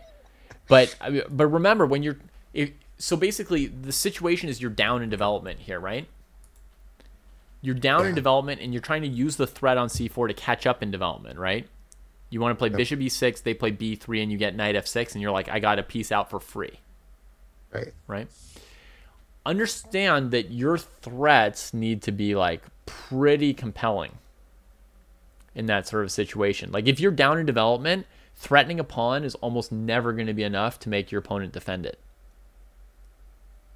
Yeah. Right? Like if there are other options to keep getting ahead in development. Yeah. So if you're behind in development, you need to threaten at least a piece if you want to like be pretty sure your opponent's going to have to respect your threat. So knight f6 for the fork. Oh yeah, you even have a good developing move that has a threat. Yeah. now that's something that I might not be able to just play, you know, whatever move I want, right? Right. Um, you know, but It's, def- it's definitely complicated. with probably I do something like this, right? And then rook e1, bishop e7, Yeah. and again, like b4 is going to be the key move to try and get something going. And you know, who knows if it's going to be enough or not. The other thing you can do sometimes in these positions is play like bishop e6 and be willing to like lose one pawn when they go here. There's some examples of that, like knight here and then you castle, right? And they get back like one pawn. And then you go here with this like knight g4 kind of stuff again, right? Or queen to the king side or something. Um but yeah, you need to in general, if you're behind in development and you threaten to win a pawn, like your opponent's just gonna be like, whatever, I don't need to defend pawns against somebody who's behind in development. Okay. Um so this move was like risky. He defends the pawn, but while also developing. Yeah. Um and here, yeah, I think you should castle, right? Based on what you've done so far. I was afraid of knight knight b5 Yeah. bishop c7 and having to deal with that but like i realized afterwards that i don't have to play 6 i can just develop knight f6 Yeah. um and then if he plays knight b4 then i just play rook c8 and that's hmm kind of the piece that i missed Yeah. i mean he might be able to And you could also spend a move getting your king off the C file. Um yeah, i just didn't think about queenside castling i don't know why hmm, okay. Yeah, so Oh. I misread bishop e6. yeah. Um, okay, yeah. So I think I think knight f6 would be like a very interesting position. Um, you know, queen a5 to c5 is a little bit risky, right? That's why you're sort of like scrambling to catch up in development now. right It's like a bit risky, but like you're controlling d4 and bishop d2 is not very aggressive, so you're like hoping that white doesn't really have like punch, right? They've got a little development lead, but maybe they don't have like the punch to to do something with it. Right. Um, Baron, when there's a fight over a pair of squares like d4 and e5, then b4, b5, and g5, g4 are common themes, right? And if the fight were over the other pair of squares like e4 and d5, then you'll see a lot of those openings will have black playing b5, b4, and white playing g4, g5, kicking the pieces, the knights that fight very well for those pairs of squares.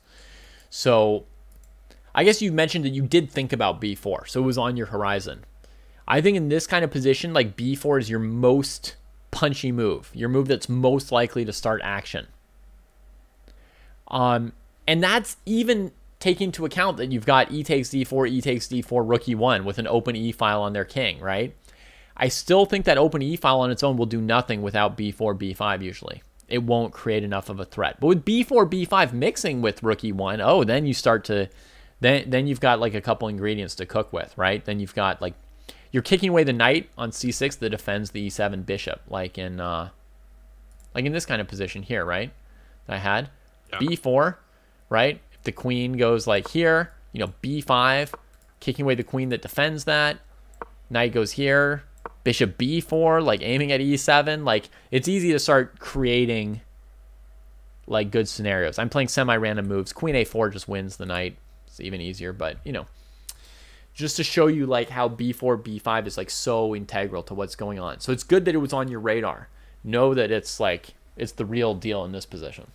Yeah, immediately after the game, I confessed the embarrassment of Queen B3.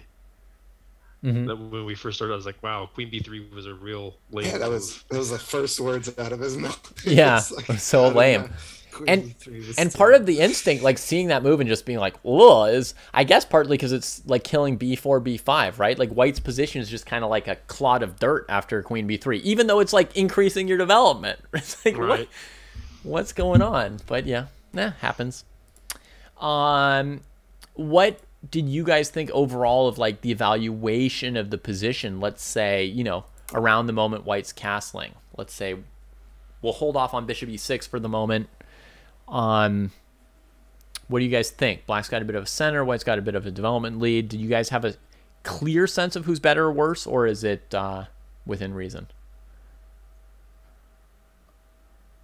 I thought White was maybe a little bit better, but it wasn't very, very clear. Mm-hmm. I think it was, you know, close to equal, maybe slight edge for White, Mhm. just because they have a good lead in development. And even though White ca- or Black can castle Queenside quickly, I think that's a pretty dangerous place to be castling. Mm-hmm. Yeah, definitely. The way I played Bishop e6 with castles queenside is risky, but it's also logical. I have to say, Yeah. it's logical. It looks like it's walking into b4, b5, but honestly, after you've castled, you can consider playing knight takes b4 and taking that pawn. And you're castling, you're creating opposite side castle position when you're strong in the center. That that plays well together like I think having like a strong center like that can be nice when you castle queenside. Um, and it's just playing to the fact that you've developed, you know, every queenside piece so far, right? So it's just it's just easier. So you do what's easier. Um, I think it's quite plausible to castle queenside. Finity, what's your like, you know, instinct, or actually, you guys have already talked about it. what's what's your sort of feeling of the evaluation? I was just glad to get my pawn back at this point, to be honest. Okay. Um, yeah, I uh, I just felt super underdeveloped, and that's what I was worried about. Mhm. Um, and I was really worried about B4 coming and just stealing the initiative. So I thought White was doing perfectly fine, Yeah. even with like my center. Yeah. I thought his development advantage was just too strong. Yeah. I think it's very scary for black like you. Um, I think you've got a good, you know, sense of like the initiative and when it's like possible to suddenly get an initiative and, and do something with it.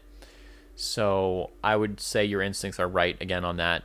Um, you know, this is like the kind of position where white throws b4, b5 at the position and black starts really struggling from the development uh, lead.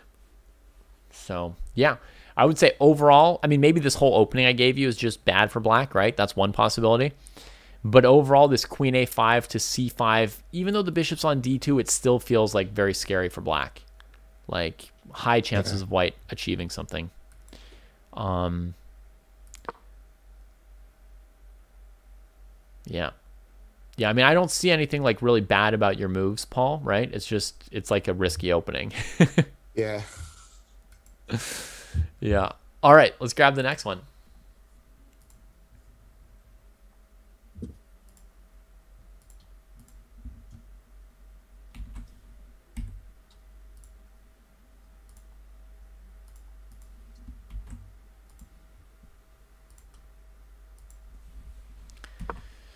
Okay, so this is the next game.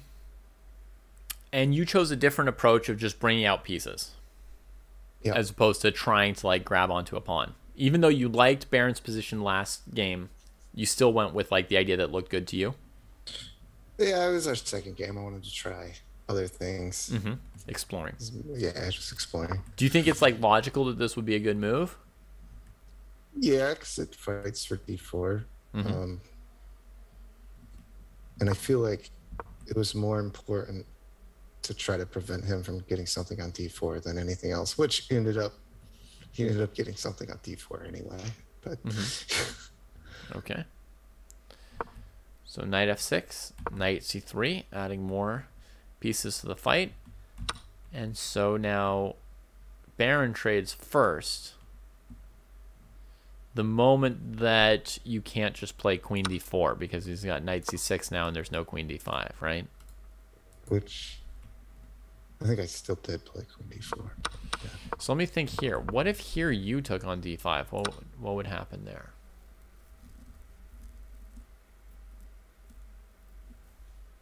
Queen d5, knight c3 looks terrible for black, right? Yeah. And knight d5, e4 is actually very bad for black as well. I don't know if you instantly see this pattern, but you can do this where you just push past.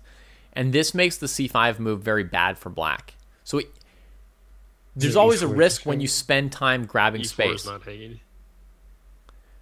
There's always a risk when you spend time grabbing space, right? And here, you know, e4 is undefended. Um, yeah queen e4.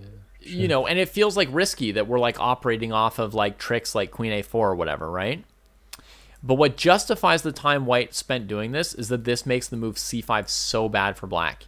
It makes that d5 pawn like basically a, a very strong candidate pass pawn. It means you can't trade it off ever.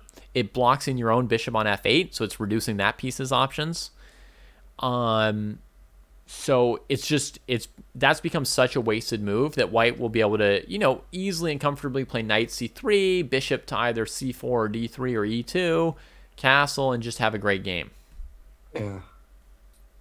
okay so this would be like really really bad for black um and so if you play cd5 i think the only plausible move from black is that they play cd4 so Right. you know, then then maybe maybe black's who knows, right? I mean, we don't know this opening. That's the only move that's logical and then white doesn't have an obvious knockout, but they could play knight d4 or queen d4 and and the game would go on. Yep. Um, after you play knight c3, it looks like it makes the c takes d4 move a little bit better, right? Because Yeah. on queen d4 there's knight c6 and your knight's attacked if you go knight d5 knight d5 pawn d5 queen d5 that's nothing special you played knight d4 black played e5 knight f3 d4 You know, crazy. Oh, and it gets crazy. Wow. Okay. Like, I feel like this is very risky for white that black's going to be able to do the same thing I just showed white doing. right. Um, and I would partly be inclined to try knight b5 and knight d5, but I think it just doesn't work actually. Black trades one knight, doesn't fall for knight c7, but plays a6 now. And if white has to play knight a3, Didn't they just have queen a5, right? White's in the trash. So Oh my god, it's already over. Queen a5. Yeah, queen a5. Okay, this is super critical then. Yeah, super critical. Hmm. Hmm. Looks scary. Yeah, it's, it's bad. That's why I went for the sack. Looks scary. So you go for the sack. Now pawn takes knight, queen takes queen is probably at least okay for white. Even if the knight gets trapped, you'll have gotten enough material for the material to be equal. Yep. So bishop d6. Now if you retreat your knight, you lose a piece. If you move the other knight, you lose a piece. It looks like you're genuinely forked here. If you play queen a4 check, though, black has to move the king, right? Because they don't want to trade the knight on e5. So if you go queen a4, black's going to play king f8, and then I guess you still lose your piece, huh? Yeah.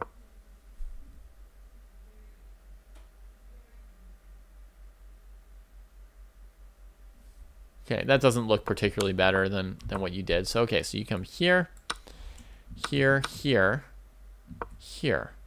You've got three pawns for the... This was very, very good choice, Paul. Very good choice. Yeah, it, we when we looked at the game afterwards, we found out it was just because bishop to d6 was a bad response. Oh, really? Yeah, there's instead of bishop d6, I think it was queen Queen I c7. think Queen- queen d6. queen d6. I think Really? is what we said. Queen d6. Okay. I would have thought maybe queen c7, so on check, you can go here and your queen's still covering knight f7.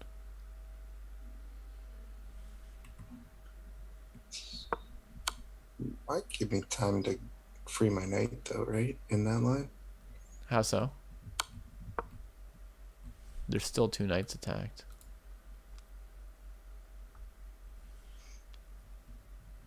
Uh, although knight b5. Mm-hmm.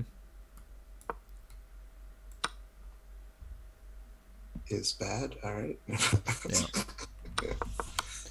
Okay. So bishop d6 here, here, here, here. Now you probably wanted to put your queen like on h4, but you made a better choice. You just came back. Yeah. That's nice. Partly because like knight b4 could be super annoying if your queen's not there, and partly because you don't want your queen in front of your pawns anyway in this kind of a position. It's not helpful. You actually want to like you know squish them with pawns and then follow up with pieces and then the queen. You don't want her out there. You're not like attacking. You're just developing. So bishop g4, h3. I would think you would want to play f3, e4 instead. Oh, black's just getting so far ahead in development again. Mhm. Ooh. We had that. And then my mouse slipped, and then I was like, "Hold on, let's replay from that position." Yeah. And then I looked at the position, and I was like, "Never mind." Let's not replay. Hey, wait. Chad has a really good question also. Why not queen d4 after bishop d6? Looks way better. It defends both the knights.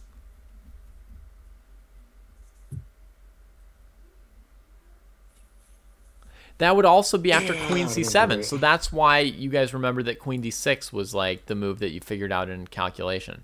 Because queen Yeah, c7, probably. there's the same move, just queen d4. Oops. So that's why you have to go queen d6. You have to keep d4 defended. And then on queen a4, maybe the move's like king e7 to try and like win that piece.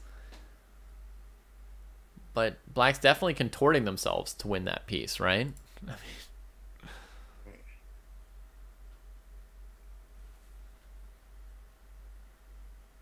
Maybe it all works out. But like bishop f4 threatens knight g6. How do you take? This looks really risky for black, honestly, as well. This line. It's very complicated. Um And then I'm threatening the castle too. Yeah, you're getting ready to castle queenside. It's suddenly like my king's on e7. I need to win a lot of material here in a hurry. huh. I feel like we looked at this. I don't think we looked at Queen A4, but I Mhm. think Oh, there, yeah, needs- without there Queen has to be something better than King E7. What if I just play the other knight to D7? Because I can guarantee you King D8's worse. What if I just do this though? Okay, so now white trades this. And then saves this. A6. Well, first of all, the rook's undefended, and second of all, the queen's threatened with check. So white's like got like two Uh. tempi to save this knight, like plenty of time. Like when this queen moves off of d6, white could either move their queen, or they could even play bishop f4. They could just leave the knight on b5, ignore the whole deal. Play queen a5 maybe, threatening knight c7 with the queen. I mean, black's position's probably fine, right? They're going to get better development than white here, but White's not losing a piece and they're up a pawn. So you've got a very interesting game going. Um, Maybe black just plays like queen b4 check. hmm Yeah, just take these off, take this Yeah. off. You know, go here, Oh wait, wait, wait. send the white king back here awkwardly. This knight's pretty good, right? And then maybe trade that off too and go rook here. Yeah. right? Great compensation for the pawn, right? I mean, just totally, totally reasonable, respectable, logical position for black.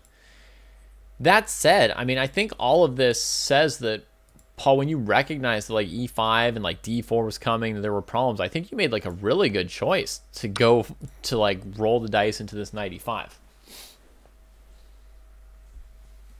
Seems like a very good, very good try. I thought he just lost his mind. You thought what? He just lost his mind? Yeah. Yeah, a little bit. I was a little, I mean, I I looked at the other the alternative and it seemed worse, and I thought that this would at least cause complications. Um, Yeah, no, I mean you gotta you, gotta have that sense of when things are going wrong and try and like switch things and be open to doing like dramatic things if things are going dramatically badly for you. I didn't think they were going dramatically bad for him. I thought after he sacked the piece on F uh, seven, the Uh-huh. next move, that's when I thought, he, oh man, he's just he's just gone crazy. No, but I mean what's he supposed to do instead of that? Like I like know. the, the the situation's much worse than you realize, I think. Like what else was Paul supposed to do if not knight e5 here? Like we already looked at um we looked at that other line with knight b5, right? Where we lost a piece immediately. So that wasn't it. With the knight on f3, you could play knight d5 and lose a pawn for absolutely nothing, right? That looks bad. You could play knight b1 and then after knight c6, there's already threat of e4, which is going to send this knight to g1 as well. Um, I mean, white might already be lost. Like it's it's real it's really dramatic already.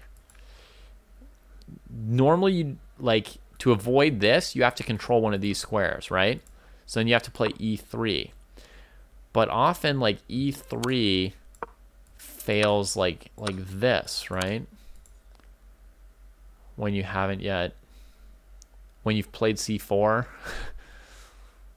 you haven't yet castled. Right? And then something like here you know here here here. I think black just won temporarily two pawns for nothing but very importantly white's development is still bad even with queens off the board right your king can't castle and your development's bad i would say that's probably lost but I mean, you really have an incentive to challenge with e3. I suppose you could just take back with the f pawn and try and play this position, but that's.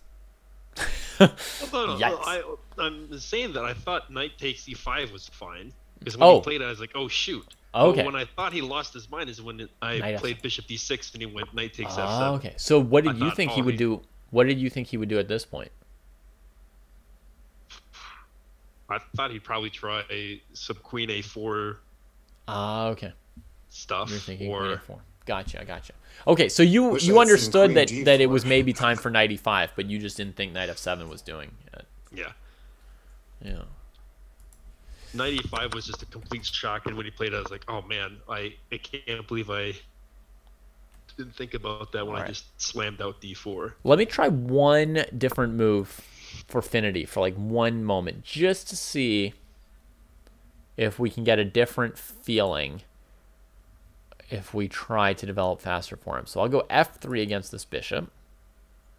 Here at that bishop h5 and Right. Now, if black can like win with like knight h5 or something, you know, and queen h4, then it would say, you know, I, I was so far behind in development that threatening a bishop doesn't even matter anymore, right? But, um, can they enter bishop h5? probably not quite, because like queen d5 check. If the bishop blocks, we can take the knight, right? And if the king moves, that at least stops the rook from coming out. Now we can take this, and on queen h4, play g3, and our queen's covering h1. It probably doesn't quite work for black. I made flight squares for the king too. Okay, so I go f3, you play bishop h5, I play e4 for white.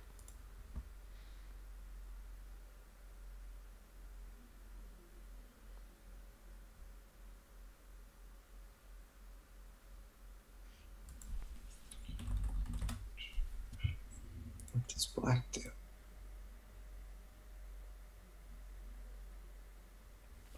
So one thing you could look to do, Baron, is put your bishop on c5 to prevent castling. I'll say this, if you just play like, you know, rook e8, bishop e2, king g8, castles, like, it's unclear.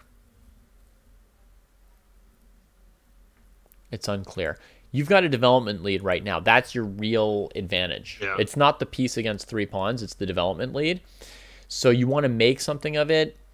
So you kind of want to play like queen b6 or bishop c5 without somehow trading queens or hanging the bishop. So that's kind of like the tricky thing to think about for a moment here. Maybe queen c7 would threaten bishop h2 and give you time to bother him with rook d8 and stuff. I was worried about looking at this if I played bishops or a queen c7. What about the annoying kind of knight d5?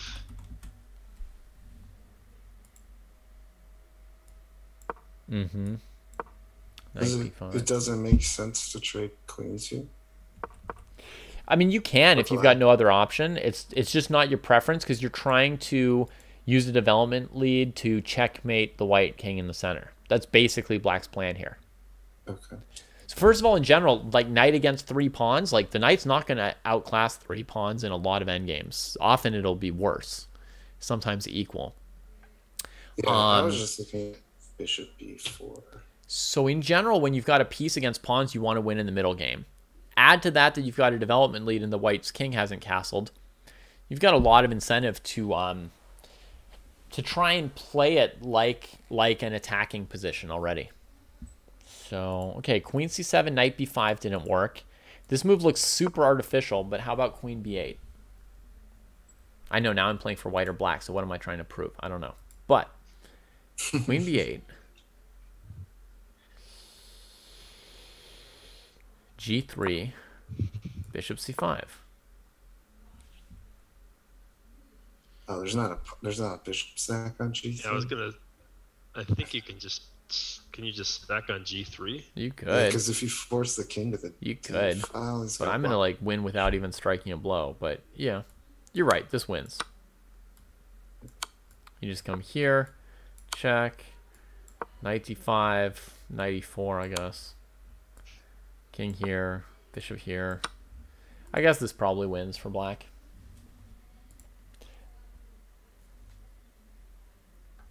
But you do have to calculate a little bit. Yeah. I was I was just gonna play like bishop c5. You know, bishop here, rook d8. You know, queen somewhere, knight d4.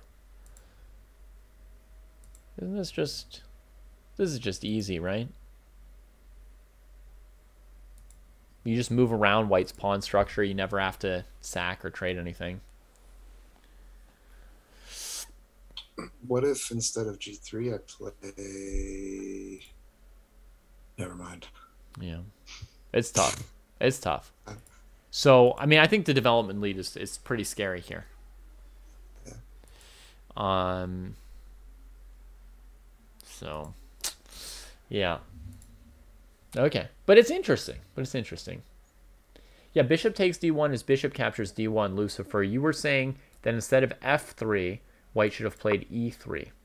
And the reason why we were looking at h3 and f3 in this position is e3 bishop takes queen. So white needs to develop the bishop here, and that's why we're looking at these moves. I thought you were going to show me I could play f3. I was like, uh, what? No, there's 33 rather. yeah, just some question coming in from chat. All right, What about G G3? right. I G3 is a way to maybe shot. develop without making any more pawn moves than necessary. Which, indeed, I mean, it's you don't want to be making pawn moves for sure. Um. Yeah, that looks a bit better. Definitely.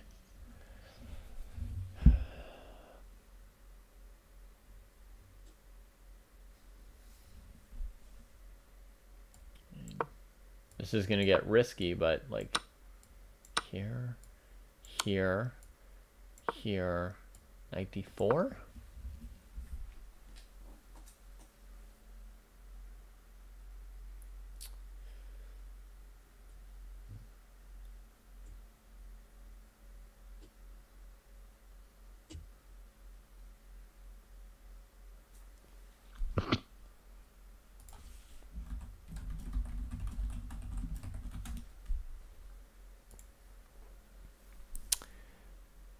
This was risky. I don't like staking it all on a calculation here, but I think this probably works out for black. If white castles, we take here with check. And on king f1, you can now trade on d2. Queen here, rook here. And we've disrupted white's white's game.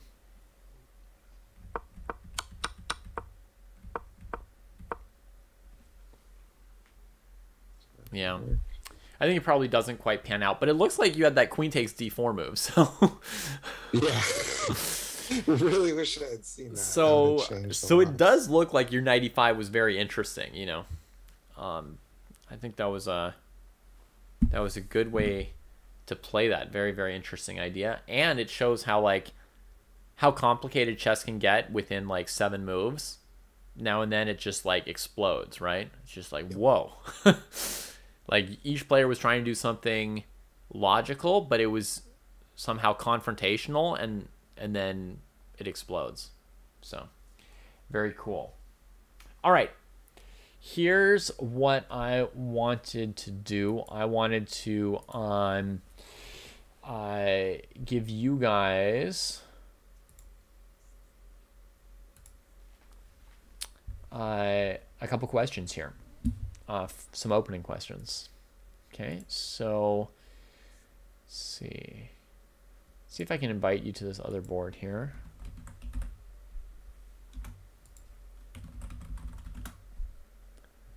Does that show up as an invite or not? I don't know if that board is has been timed out. No, I didn't see one. Didn't? Okay, it's fine. I'll grab the PGN and carry it over.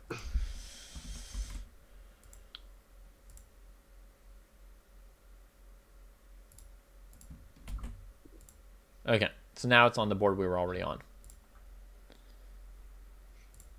Okay. So I'm giving you Scandinavian defense with like a slightly unusual move for black, and I'm just curious what your reaction to that move is, okay? So, got knight c3, queen a5, knight f3, and now knight c6. Do you guys know this position before knight c6? Like, is this within your general sense of chess? I don't mean like, you know, like a bunch of opening theory, but does this position look like, oh yeah, I know what this is? Oops, I was muted. I got one system against Scandinavian that Mhm. I play, And it- what's that? it's just knight f3, bishop e2, d3, and the castles. Without knight c3 or with knight c3? Uh, knight c3 first because Knight c3 first, okay. There's no reason not to. Queen a5, knight f3. So you would play this exact position here. Yeah, at this yeah, point. I think sometimes I play Okay. bishop e2 first Cool. because they want to develop their bishop and it can put it on an awkward square. But Mm-hmm. same idea. Okay. Yeah. So um so this position like it makes sense to you. You know what's going on, right? Like black's playing the Scandinavian, you traded a pawn. Um they're trying to develop their bishop on c8 freely and eliminate your central pawn on e4, right? Remove your space advantage. Right. Um the cost is, you know, one queen move, not the end of the world. Um especially since white spends a move playing pawn takes pawn on d5, right? So one of the things that some Scandinavian players are kind of arguing is that the knight on c3 blocks the c2 pawn. And so that tempo from knight c3 is not like amazing because if white plays d4, they're going to want to play c3 or c4. Just in most of most positions with the pawn on d4, right? You'd want the c Right. pawn to either defend it or control d5 if you're if you've got the ambition or if you've got the power to play more ambitiously.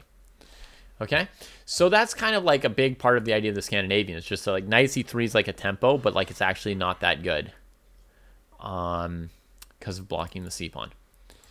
Okay, um, so with that orientation, uh, do you guys know that normally what black plays here is like knight f6, c6, and the bishop to either f5 or g4? Yes. Is Yeah. that Yeah. that's your experience too. And Paul, your idea of playing d3, it's kind of like logical. The pawn is staying with the c2 pawn, right? Like you're not getting Yeah. ahead of it. You're not doing anything like risky. Yep. You know, It's passive, but it's passive. Solid, Your yeah. bishop on e2 is not particularly good.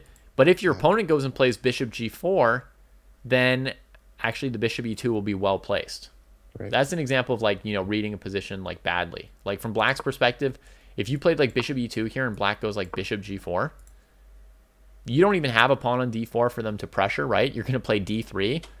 Like the best thing that could happen to your bishop on e2 is that either it comes to f3 or at some point the knights move and you trade for the bishop on g4 with your bishop on e2, right? So Yep.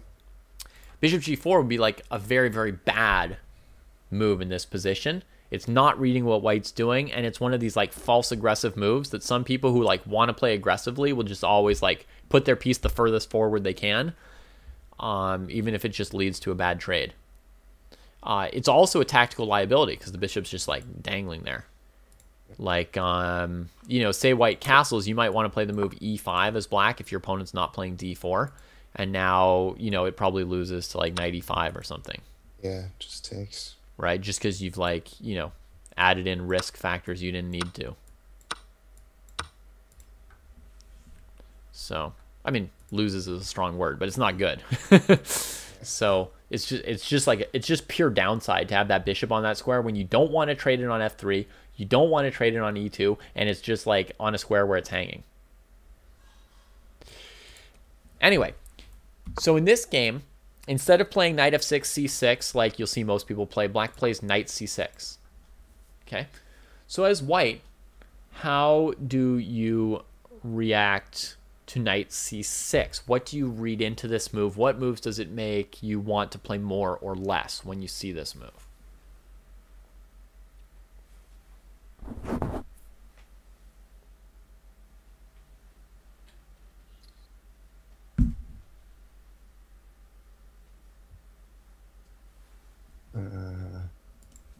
Well, I got my one system, so it doesn't really change anything. But it No, makes me wanna no, no, no systems. it kind of makes me want to play d4 a little more because It it, makes you takes play- away the e5 square. Fights over e e5. Okay. I don't know if that's so the right thought. it makes you want to play d4 a little bit more because they don't have the pawn on c6 to stop d5. Yeah, and I'm and I'm threatening to take more space, which is d5 immediately. Right. I mean, he's defending it. He can defend against it, but that's not the point. Okay. Cool. So the fact that black doesn't have the pawn that can come to c6, and instead they've got a knight on c6, it encourages you to maybe go d4 looking at d5. Yeah, but then I feel like I get hit with bishop f5, and then Bishop Knight f5, and then you're afraid of like d5, knight b4 or something? knight b4 and all that stuff. Okay. You're white. You can't fear that. Uh, Baron, your thoughts on this position? I think d4 seems like a really strong move, and I know when I play the against the Scandinavian, the annoying setup of e6 and c6 is frustrating to play against. So when they play knight c6, I thought that looks kind of weird because now they're going to have a harder time to get c6 in along with e6. Mm-hmm. So it seemed like knight c6 is inaccurate. Okay. Um, do either Oh, you have a sense about- of why your opponent's playing knight c6? Is it the Probably because they idea want to that play I talked e5. Okay, they're trying to play e5 maybe?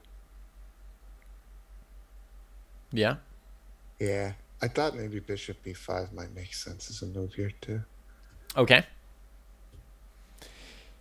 with Yeah, if you play of bishop b5, how do you expect your opponent would respond to that?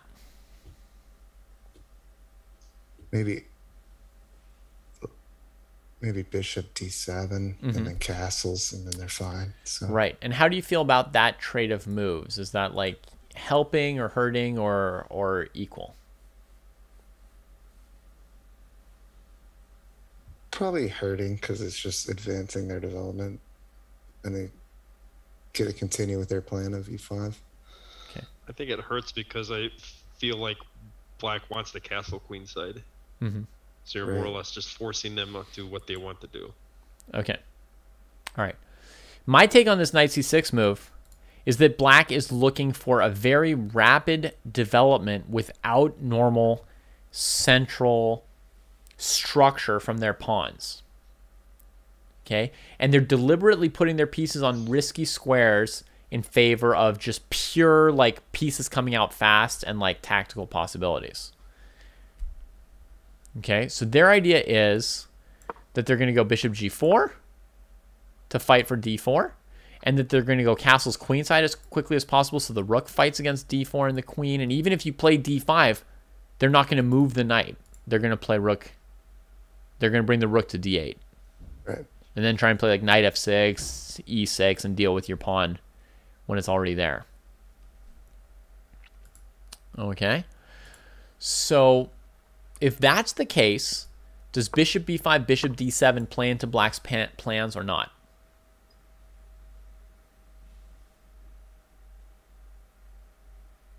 No, because now I can play d4 and his Right. bishop's on the wrong square.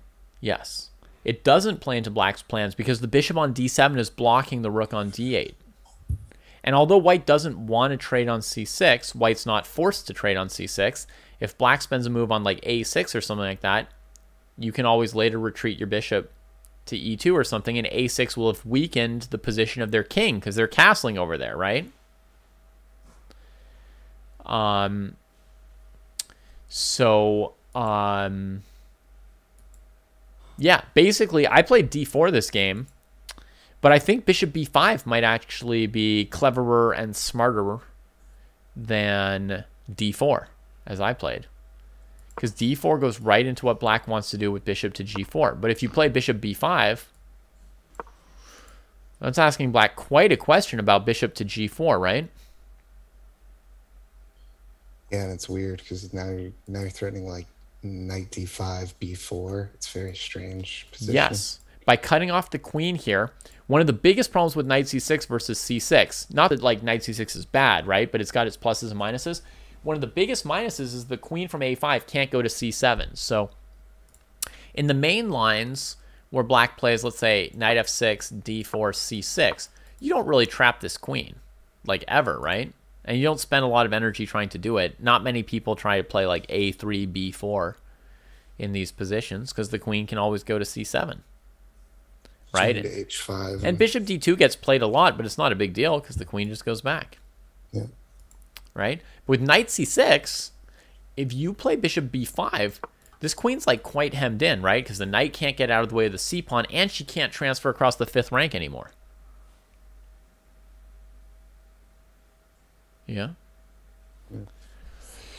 so let's say black plays bishop g4. For one thing, you don't have a pawn hanging on d4, which may be part of the reason why Paul sometimes plays with d3, right? But like here, Yeah. it's nice that we're avoiding a pawn on d4, right? There's not. If the opponent castles queenside, there won't actually be pressure on anything. yeah. And you'll be able to take on c6, and their king position will be weak.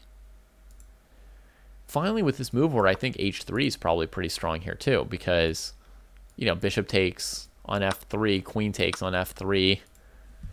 I don't know. This looks critical for black already. c6 is just hanging. So at this point, white's ahead in development, and white has a threat, and white has the bishop pair, and black has no pressure on d4 because there's no pawn on d4, and their queen is weirdly placed. So it's going like super, super badly at this point. Does that make sense? Yeah. So if you figured out that's what your opponent wants to do, if you figure out that like the point of knight c6 is bishop g4, Imagine if they keep playing their system moves, Paul. Imagine right. if they go bishop g4, and then like the next thing they do is they castle queenside too, because they're like, I don't know what else to do. It's two two buttons hanging. Right. So now you could do this. You could take f7 if you want to weaken their light squares. You could come here if you want to. Like, great. Yeah. And of course, you're going to put your pawn on d3, not d4 now. In general, I'm not pumped about you playing d3 with your bishop on f1 and then bishop e2. But in this position, you traded that bishop. Your opponent controls yeah. d4. And d4 would only block your c1 bishop, right? So put the pawn on d3. And it's, you know, winning advantage already. So alternatively, bishop g4, h3. We could go bishop back to h5, right? And now white probably has the justification to go g4, bishop g6, knight e5. Again, you're going to be very happy, Paul. Again, we're going to play d3, not d4, right? Right. Because we're playing against that bishop on g6. We're saying, like, technically black developed that piece, but gosh, it would be better off on c8. It's so restricted and, and low on options, right? Furthermore, we've got queen f3 coming, so we're winning a pawn for sure. And if we go back to that question about queenside castling being risky in one of your games, but I was like, well, black's developed all their queenside pieces. They kind of just have to do it, even though it looks risky. Right. Even though white has b4, b5. Well, I mean, black's a little bit in that kind of a situation here where white's about to win a pawn on the queen side. Not just like hurt your pawn structure, not just win a pawn. They're going to like win a pawn of your pawn cover. And in this position as black, you're like, hmm, maybe I just need to castle queen side here. Yeah. It's like, what else are you going to do? Play like e6, white plays queen f3, right? And it's like, you know, or I guess knight c6 might win a whole rook now because you didn't castle. So this position might be so bad for black that they castle queenside into white taking on c6. Might win a queen things can go really, really badly here for black at this point, right? So I think bishop b5 is kind of like a genius move here. I didn't play it, but I would expect black to play bishop d7. And I'm going to stay flexible with the d pawn here. I'll castle. If black ever plays e5, by the way, Dripman was asking about this a little bit in chat in these lines where you delay d4, but you haven't spent a tempo on d3 either. You've been developing fast, and your opponent's like, oh, I can play e5 because white didn't play d4. Whenever they do, you can almost always just play d4 for white. And then black's like, oh, oops. Like, I'm behind in development, and I just tore open the center, right? They like maybe falsely think white's going to be passive because white didn't play d4, but it's just a move order trick. So white castle's here, you know, and if black plays a move like a6, like I'm okay retreating now, right? I didn't lose time. Bishop d7 wasn't good for them. a6 wasn't good for them, right? You can go to c4 or e2 here, and it's fine.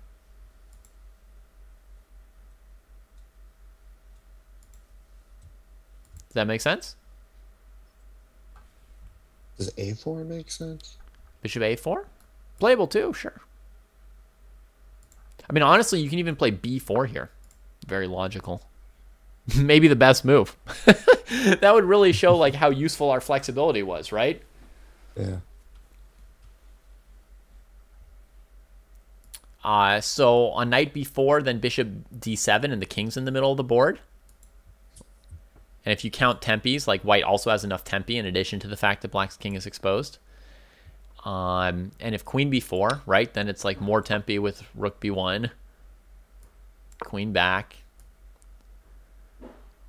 bishop c4, and now there's a tempo on b7, and it's like, what are you gonna do, black castle queen side? I guess so. It's the only thing your position can do, unfortunately, even though you don't want to do it. So, Change f7.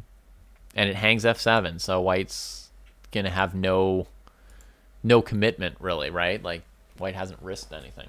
Yeah. So actually, this b4 move looks like further genius, right? It's another good good find after bishop b5. So I think bishop b5 would be great, probably. And I just, you know, wasn't sure what I wanted to about knight c6 and just played like a normal d4 move. The idea of bishop b5 had already occurred to me, but I just played a normal d4 move. And my opponent played bishop g4 like I knew they would, and I was like, ugh, d5 castle's queen side, you know, like bishop e2 castle's queen side, and the d4 pawn is threatened. I don't know if you've ever seen this kind of stuff before, but like if you play defensively for white, sometimes it just doesn't work out at all, right? Yeah. Like they just started attacking d4, and you're like, man, I'm playing a lot of passive moves, and black's whole setup is justified at this point. You're not trying to trap their queen. You didn't win a tempo on the knight on c6, and they're actually getting something out of the rook versus queen opposition. So you just look at like what each side has tried to do. It seems like what black was trying to do has like worked out, right? The moves have played towards what black wanted. This has happened to you at some point, Baron, that someone played an offbeat Scandinavian like this and you didn't feel great. Oh yes. Yeah. I've gotten absolutely crushed Right. with this kind of Just stupid stuff on the D file, right? And you're like, oh, it's janky. Yeah. What am I supposed to do? So, yeah, I mean, one thing you want to do is not go like passive. You have to like fight back, and that sometimes means like um like calculating a variation like you know bishop e3, or sorry, like it'd be something like you know d5, castles, you know maybe like bishop d2, creating this threat and like knight b5. Sometimes you have to just calculate if that thing works, right? Other times you do something like bishop e3, like e6 challenging you, and you just take, you know, here and here. Sometimes you just have to like let loose. You just have to go for something. Yeah. Um, you have to find like what they're doing has its downsides, right, as well as its strong sides. If all you do is try and defend against the strong point of what they're doing, and you don't look for the the Achilles heel or the soft underbelly or you know you don't look for the like the weakness and try and emphasize that then people can run over you right and when I've played my like riskier aggressive openings against GMs like they never just like defend the stuff. They just like spot the place where they can counterattack right? Like every time one of my you know too aggressive openings has been punished it's because they lashed out at me. Never because they just like defended it. So um so bishop to g4 was played by black and um yeah what do you guys think white should do now you're now well oriented to this position but it's still somewhat new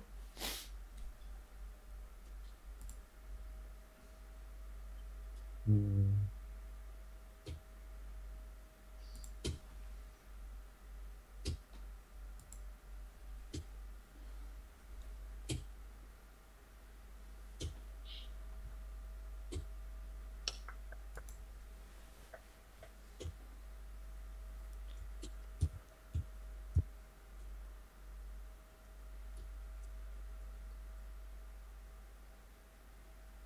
Trying to see if bishop b5 still works here. uh-huh. Bishop b5 castles takes. right Okay, maybe bishop b5. So you're thinking maybe bishop b5. Maybe that finds like a weakness in this like knight c6 kind of thing. Now, is some part of you afraid that after you go bishop b5, castles queenside, and destroy their pawn structure, they're going to throw c5 at you and e5 at you, and like your light squares will be weak and the rook will become active. Is some part of you scared about this option?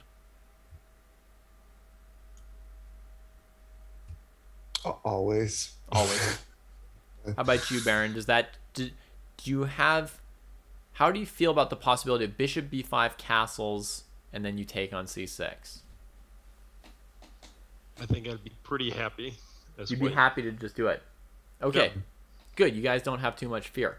A lot of people like if the situation's like complicated and double edged and it's not one they know, they just like they're fearing everything. Yep. You know? But you have to be willing to just say like, yeah, there's like pluses and minuses, but I'm going for this thing. You know? So I think the only good move here is is still bishop b5, even as it was on the previous move. Okay. The opponent castles. What should white do? Okay. I think you're right.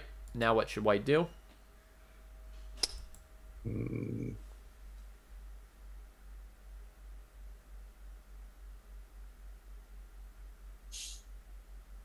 It's either d5 or bishop to e3. Bishop e3 develops a piece. I was thinking just castle kingside. Uh, castle's kingside and then bishop takes. Oh, I guess f7's hanging, huh? as is c6. But I'd be more concerned about castle king side than something like queen h5. You're concerned about castles, queen h5 maybe? Yeah. But that's usually kind of annoying in my experience. Mm-hmm.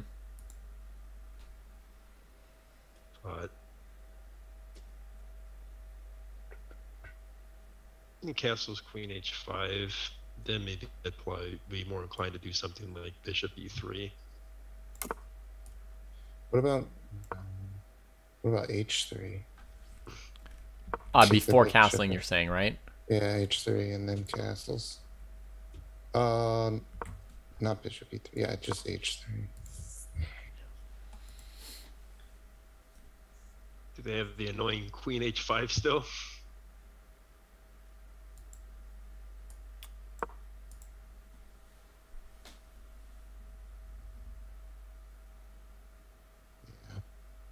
Guess they do.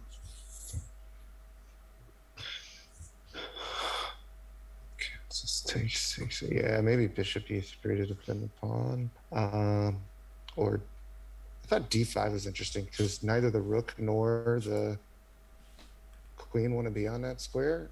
So Like at the very beginning here, d5? yeah, just d5 here. It's a little weird, but because if he takes the pawn back, he's got a pawn on that square, and you shut off the rook. Even though it's like reconnecting his pawns, and those pawns are just going to show up the board. Mm-hmm. Thought it was a little interesting. Interesting. If you want to do that, Paul, I would keep that in mind as an option and wait for your opponent to play e5 or c5. Because have you guys thought about what move black wants to play next?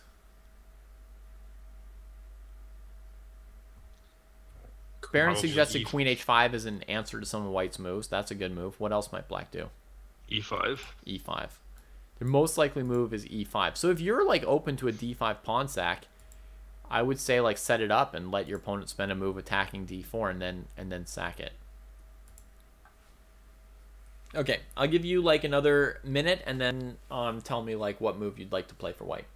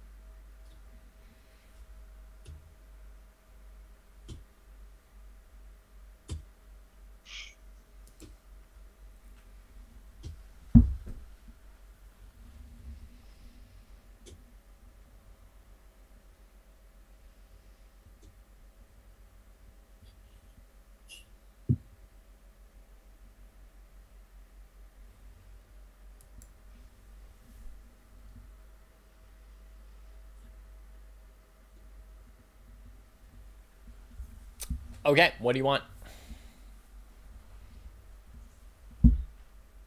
Queen to d3. Okay. Baron? I was thinking queen d3 too. Amazing. you guys did better than me. Um, the two best moves in this position are queen d3 and queen e2. And the move I played in this position was h3. I recognize that what black really wants to do is play e5. Um, which maybe you guys did as well. Um, what black really wants to do is like play e5 and then probably like take on d4 with the pawn, but also just like develop their pieces at some point here, right? From the king side. It's what they really want to play. Now, I realize like h3, bishop takes, queen takes, like rook takes d4 doesn't help black much at all, actually. Like, Right. your knight is still fine on c3, your bishop's going to come to e3 you know, whether or not you take back a pawn on c6 or f7, which, you know, you're welcome to do if you want, like, even if you don't take back your pawn, like, it's just an amazing position for white because the black king is weak and white just develops. So there's no threat of black taking the pawn on d4 with their pieces, actually. That, that, that pressure's kind of gone with bishop takes c6, right? Yeah. But I just missed this resource of resource of queen h5. And that's just like the best position that black could have uh, could have gotten out of this, you know, because now they're going to get to trade off on f3 and live to play an endgame. White's got like a small edge, but like the main like advantage is already gone. So not to reveal too much, but with your move, you would have like a big advantage, queen d3. Because you're happy to allow bishop f3, queen f3. It's funny, right? You're just like, whatever. And um, otherwise, if black goes e5, you can probably take it with your knight, right? Is that what you had Yep. what you had planned? So you've stopped that. If black goes c5, I think you can just like push past them now. And you know, black can like fight against you with like e6 and stuff, but it's just not it's just not going to work out for them. You're going to be ahead in development and their king's going to be weak. So after queen e3, there's, I mean, there's just not really anything good for black to do. Good job, guys. That's a sweet move. Um, and then queen e2 is very similar, right? Now, Queen e2, I didn't. I don't understand this one. I mean, you're avoiding e5 because you can take it with your d pawn.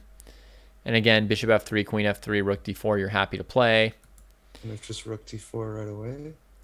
And if just rook d4 right away, um, then I think you just castle and just say whatever, Okay. right? And again, you're going to play, you know, bishop e3 and, and actually probably rook d1 to trade their rook. Yeah, that makes sense. because so you'll first get a tempo with bishop e3 then a7 will be hanging which will be slightly annoying for them without a b7 pawn you can really take a7 in any position without getting trapped right so their queen might have to sit there defending a7 they can never switch over queen h5 that tricky move against h3 and stuff because you've positioned for queen a6 to release the pin and then use your knight Right. um, so you go bishop e3 to get the tempo. They retreat their rook. Um, and then you go rook d1. You trade the rook before h8 is connected, and then you just kind of roll over the position.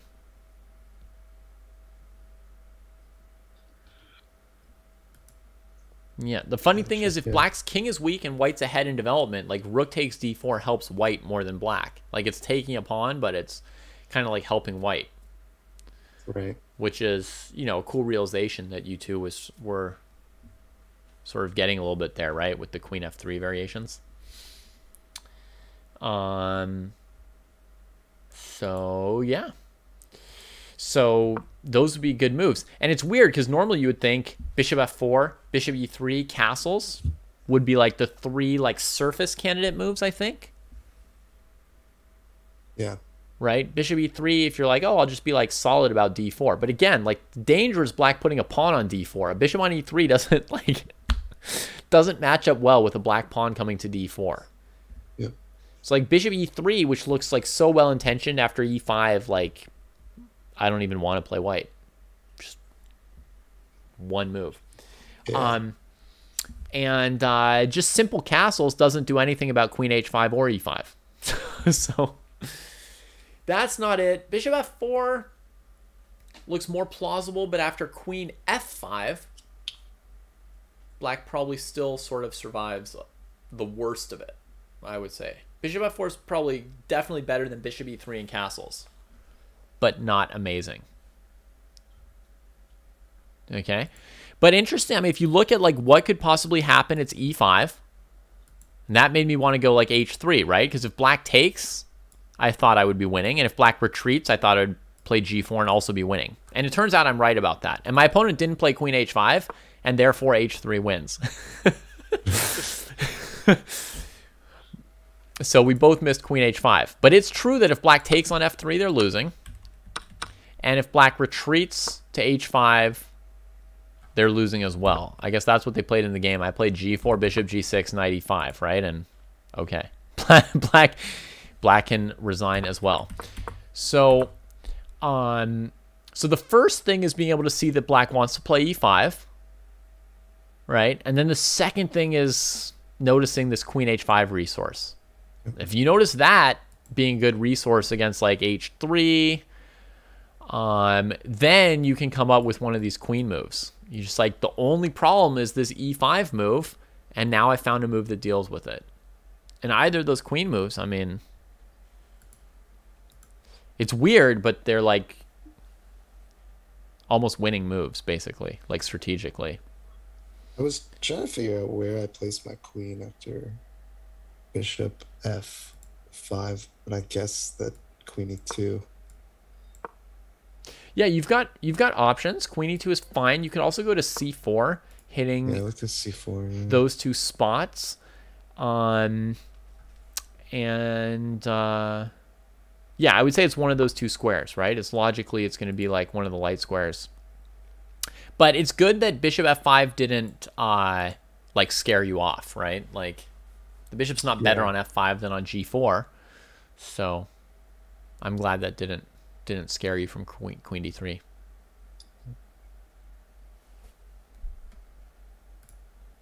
All right.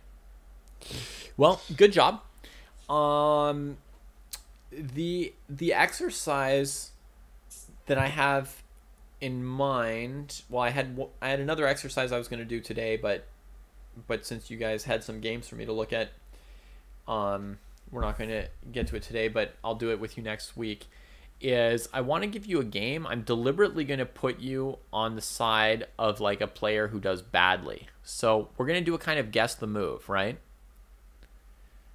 But putting you on the side of like, you know, Fischer or Gary Kasparov crushing somebody can be like it's that's the normal way people play guess the move, right? And it's like you're trying to guess like good moves and all that.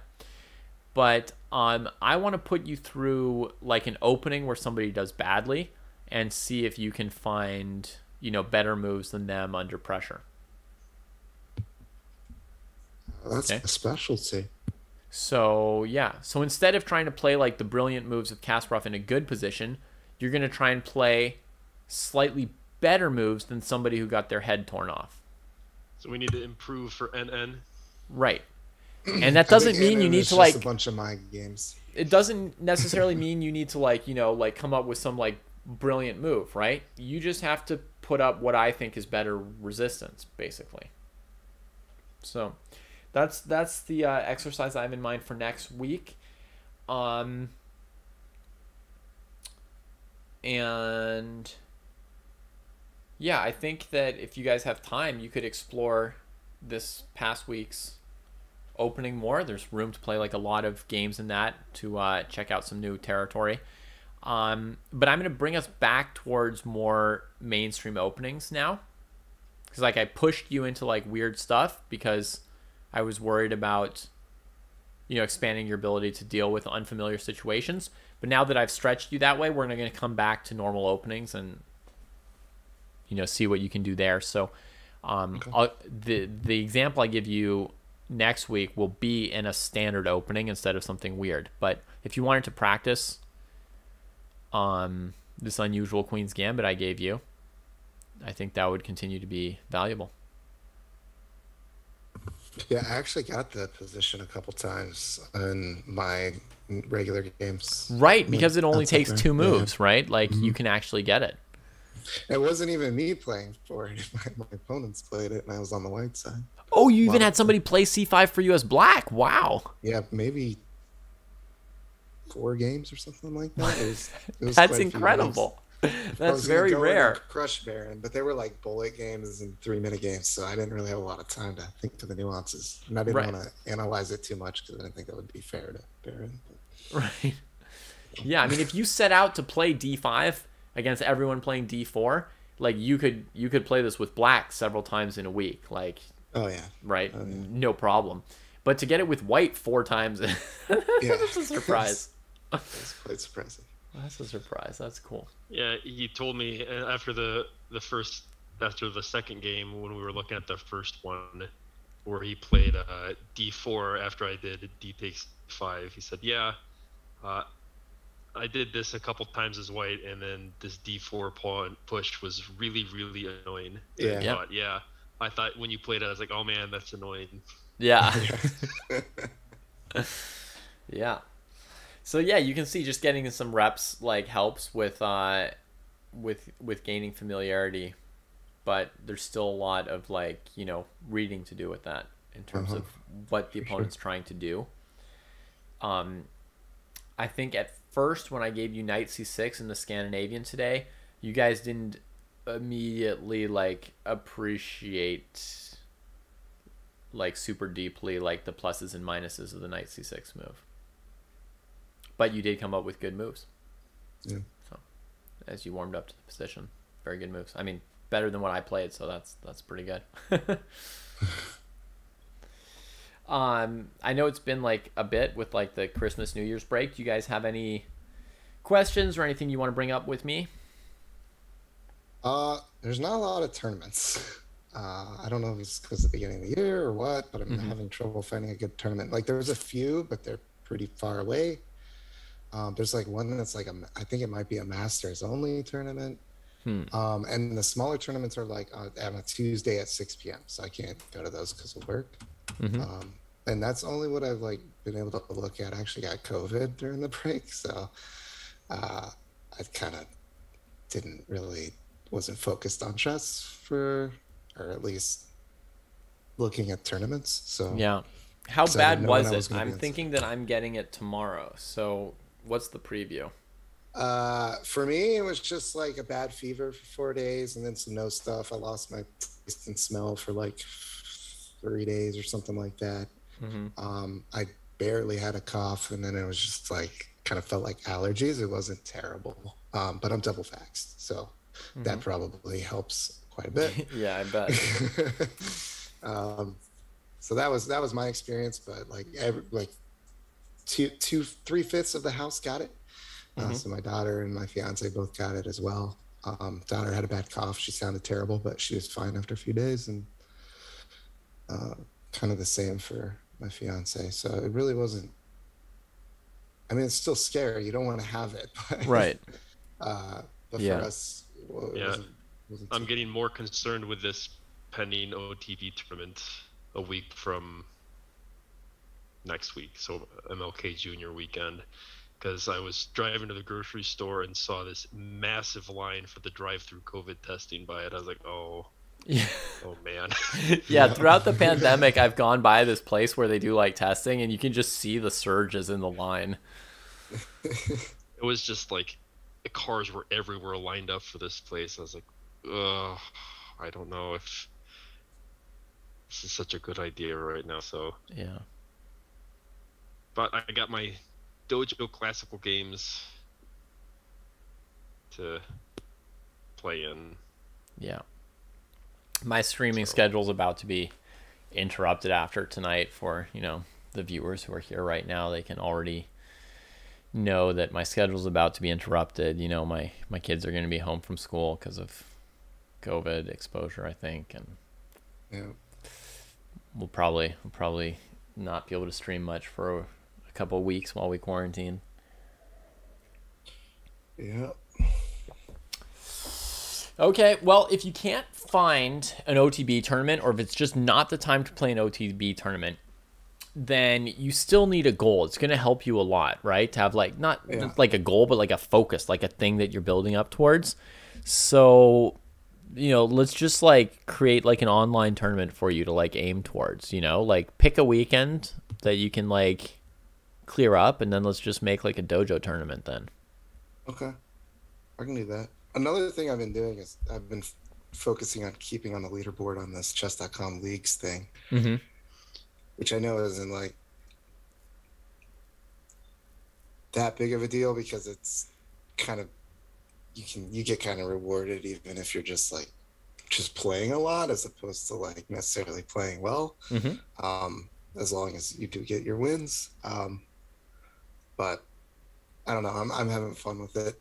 Cool. It's nice to stay in the in the leagues. I got second place in last last week's. Jesus. So yeah, that's how many games I That's played. very high. That's very high. I failed to progress, so Oh no. yeah. I'm stuck in In Wood League. maybe it's Really? maybe it's stone, whatever the second one is. I progressed the first week Oh, yeah, and, stone, and not the yeah. second week. Yeah. I'm in I'm in like ninth place in bronze right now. I gotta step it up. How high do you need to be to qualify again? I think it's top ten Top ten. Okay. one. Yeah. All right. Well, good luck with that. Um, yeah. If, if if it's not the time for OTB, I think about like what kind of like a what kind of an online tournament would be the best thing for you to like work towards. You know, like is it best for you if it's four weeks away or eight weeks away or twelve weeks away, and you know what kind of time control you want, and then you can just start organizing it.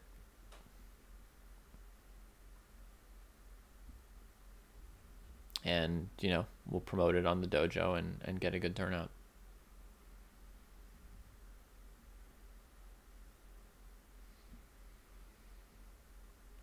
All right i don't know if paul just lost his mic or something but um Oh, I'm muted. Sorry. Yeah, I was just saying the last tournament that was under my name wasn't didn't turn out so great. I think I lost all my games. that's right we don't have to name right. it after you this time Yeah. yeah. but we can still work towards something yeah. Cool. we can call it the no longer bronze league Like it. Love it. whatever the league is after that you can tell me when you get there and then we'll name it after that Okay. Um, Baron, any anything you want to check in about? Uh, so my plan is to start looking at a lot more um, like classic and master games. Mm-hmm. And I was just want to ask about apart from you know I've got all these books and just reading through comments and variations and trying to look at like you know what's the threat, what's the point. Tell me what books you have. I'll tell you which one to read first. Uh, oh, the four I've got that I was thinking about is I've got that 500 Master Games by Tartakower. Great. Then I have the Fischer 60 Games. Mm-hmm. I have the Yayekin collection. Nice. And I also got for Christmas the Bronstein Zurich tournament Woo! book and the uh, My Life in Games by Paul. Okay, so you've got like several of the best five books ever written or something kind of right there. Okay. Um Well, I would start with Mikhail Tal. Life and. Games. I would start with that. And you can kind of do things in any order you want, but there's two different orders that would be logical. And depending on how much time you're going to put in, you should pick one or the other. So, one order that's logical is from the most fun to the least fun. And that's the order that makes sense if you don't know if you're going to get through everything, right? Then you make sure you get the best thing, right? It's like if you're not very hungry and you just like decide to eat the dessert because otherwise Right. you might not get it. So, because the other logical way is to start from the beginning and work your way through chess history. But the thing is, like, if you get bogged down in 500 master games, because that's a lot of master games, and if you try to understand every move of every game, and you know, I don't think the annotations are like the most like thorough. Um, so if you get like bogged down trying to like figure everything out for yourself beyond even like what the annotations tell you about, and you never get to Tal, man, that would be that would be so sad. Yeah, I think when I was trying it, I did it for about a month, and then I just got distracted by you know this, that, and the other thing. I think I got to about I was doing maybe like three or four games a day or so, mm-hmm. and I think it was about one every ten games was like, wow, that was a really great game. Mm-hmm. That was like a really interesting, you know, why this kind of stuff doesn't work. Yeah. And that was which book did you have that experience? That was the 500 Master. 500. Okay. Yeah. Um. Well, the good news is you're going through it at a good clip, so you're not like bogged down. Um. And you know the the games aren't all like amazing, right? People weren't that good at the time, right? That's yeah. but that's kind of the idea is like you're picking up sort of like the development of ideas, right? So if you feel you don't need to like understand the details and the details are probably not even true right? And like the annotations are probably wrong as well etc right? Like what you just need to do for that book to be valuable is like you're picking up ideas. You're like oh that's an idea. You can withhold judgment on whether it's a good or bad idea right? But it's kind of like idea gathering like oh there's like an idea that you could win the whole game because the a7 pawn's isolated in the end game right? Or oh in this kind of position you can open the e file. Yeah i definitely remember one game where black played this um, you know bishop g4 pin on the knight and then the white player just said go ahead and take it. And then they played they castled kingside they uh, took on f3 g takes f3 and then in the game they just played something like king h1 rook g1 and i'm checkmating you. Right. Because they also black also castled kingside. Right. And i used that in the game and i was like wow that was pretty effective. Yeah so whether or not stuff is like accurate and whether or not the and whether or not you understand like all the options like that's like too much right? But like the idea is that you're just like picking up the ideas in the order in which people figured them out. Like you know at some point you'll come across some like ideas where people defend against that same idea. And you'd be like oh i recognize this idea that i thought was so good now I right. see like what you can do about it. The thing is, like maybe Tartakower didn't yet know what to do about it, right? Maybe nobody had yet dealt with that at the time. So those are your two options. You start with the funnest stuff, which is My Life in Games, and it does have the benefit that a lot of other dojo people are reading that book right now because we've like recommended it very highly. So it has like the fun thing that you can like chat with people about the games in it I would guess there's like at least 10 people in the dojo reading that book right now. um, or you can or you can start from like Tartakower and just like work your way through history. So. All right.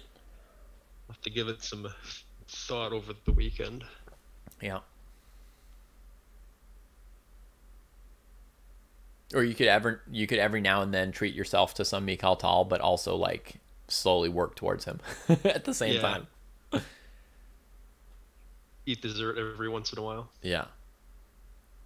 But probably not like read like all five books at the same time. Yeah. That doesn't have any particular benefit.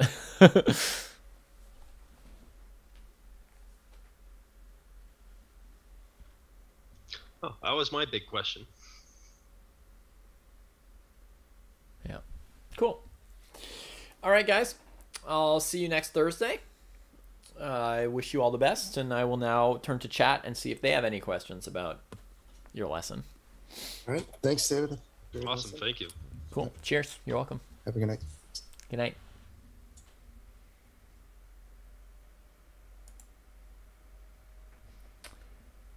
And Scott, I'm of like a similar opinion to what Stamen's saying. I think if you go, like, you probably will catch Omicron. So it's kind of like, you know, okay, that's kind of like the trade off at this point. but anyway, let me try and see if there are any questions about this lesson just now. So we looked at two games in the Queen's Gambit with c5 on move two from black. And then we played through uh, some moves in this unusual Scandinavian that is before you now. Does anybody have any questions about any of the positions that came up, the evaluations I made, or um, why we're looking at these things? What my what my what my thinking was with um, with the choice of material, or anything like that, or even like you know maybe like just like the book recommendation that I just gave to Baron, right? Maybe someone wants to know like what what what is this thing about in historical order or you know, if you got any questions about that, ask me.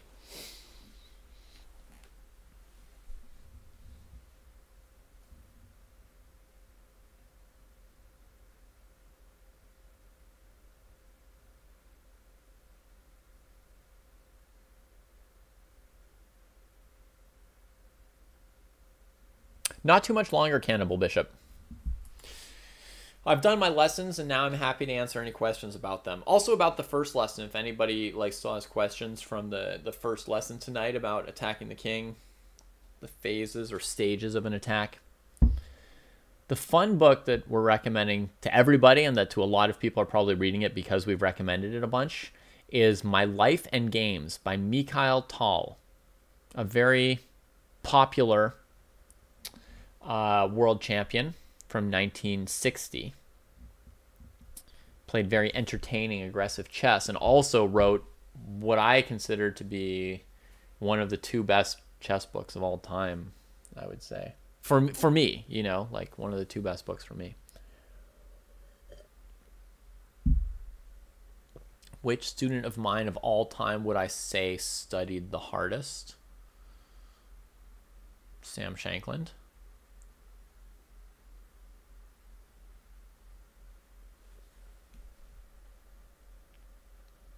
I would say of like any chess player I know personally, he probably works the hardest. Studies the hardest.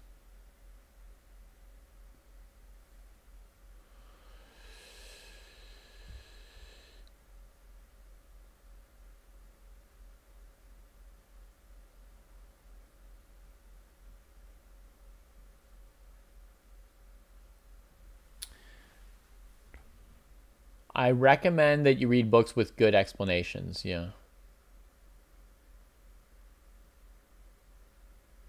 Do the books touch on like the what to do kind of stuff? Um, I'm glad you're watching those videos, Damon. Um, the books.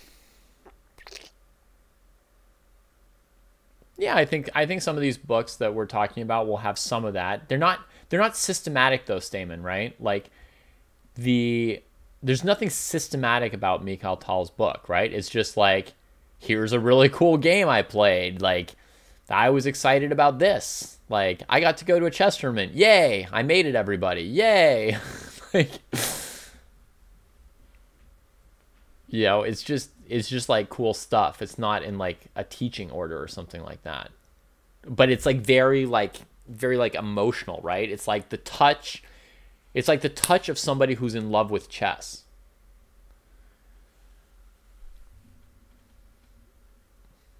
Right? It's just like inspiring. Somebody posted like the first page of the book on Twitter the other day, you know, and you just like reread that page and you're like, oh, yes. Oh, yes. This is what I want to be reading. You know, he's just like very, very candid fellow ultra chess lover.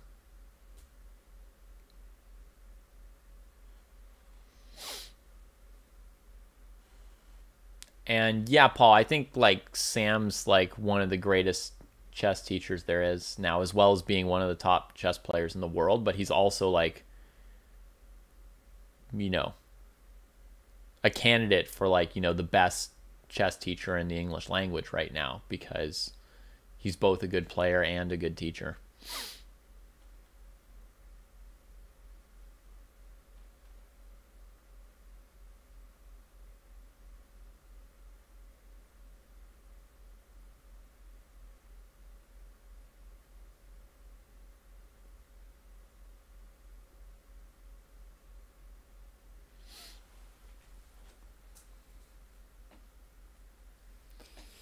All right but it's I'm sensing there's no questions about today's lessons. You know, you guys like to chit chat chess books maybe and stuff, but um, I have to go.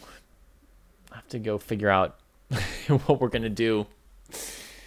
Uh, what we're gonna do with our potentially compromised household. so, um, if there's no questions about about the lessons, I will. Ah, you do. Okay, cool, Eric. Go for it.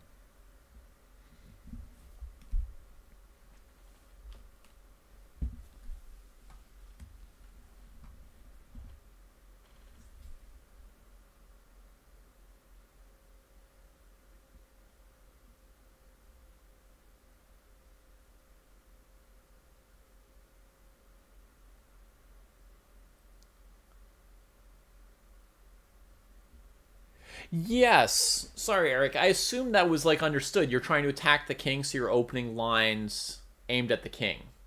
So you're opening up like a file towards the king or a diagonal towards the king.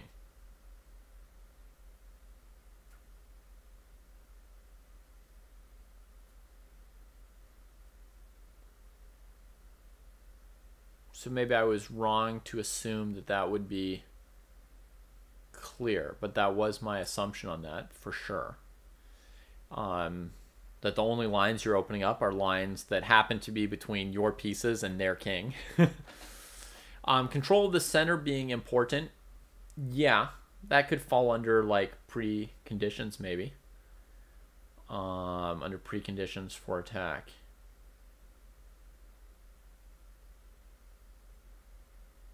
But I haven't yet gotten into like in detail what's going to make an attack succeed or not, just what the pieces of it are.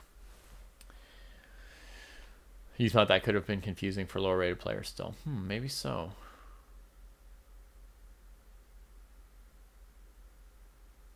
Hmm. Thanks, Lucifer.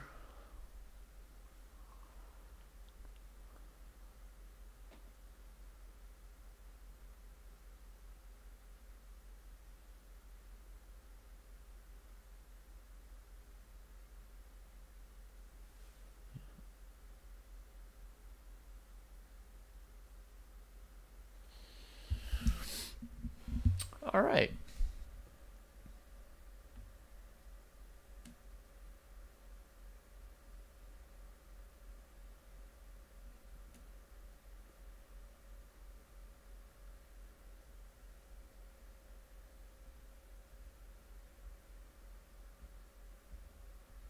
Yeah, absolutely.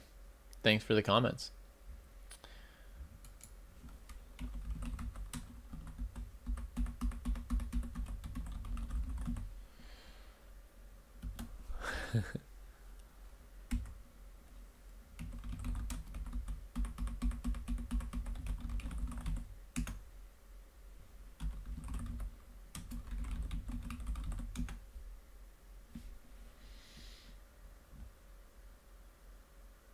Oh, you've had that exact position.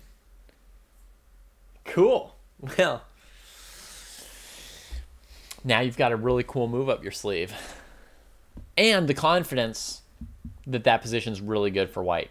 The confidence is really helpful because I think a lot of times when people are in those offbeat Scandinavian lines, one of the main things that hampers them is like feeling uncomfortable and then playing too defensively because you don't have enough confidence in what you're doing. So the confidence should help a bit. Take care, everybody.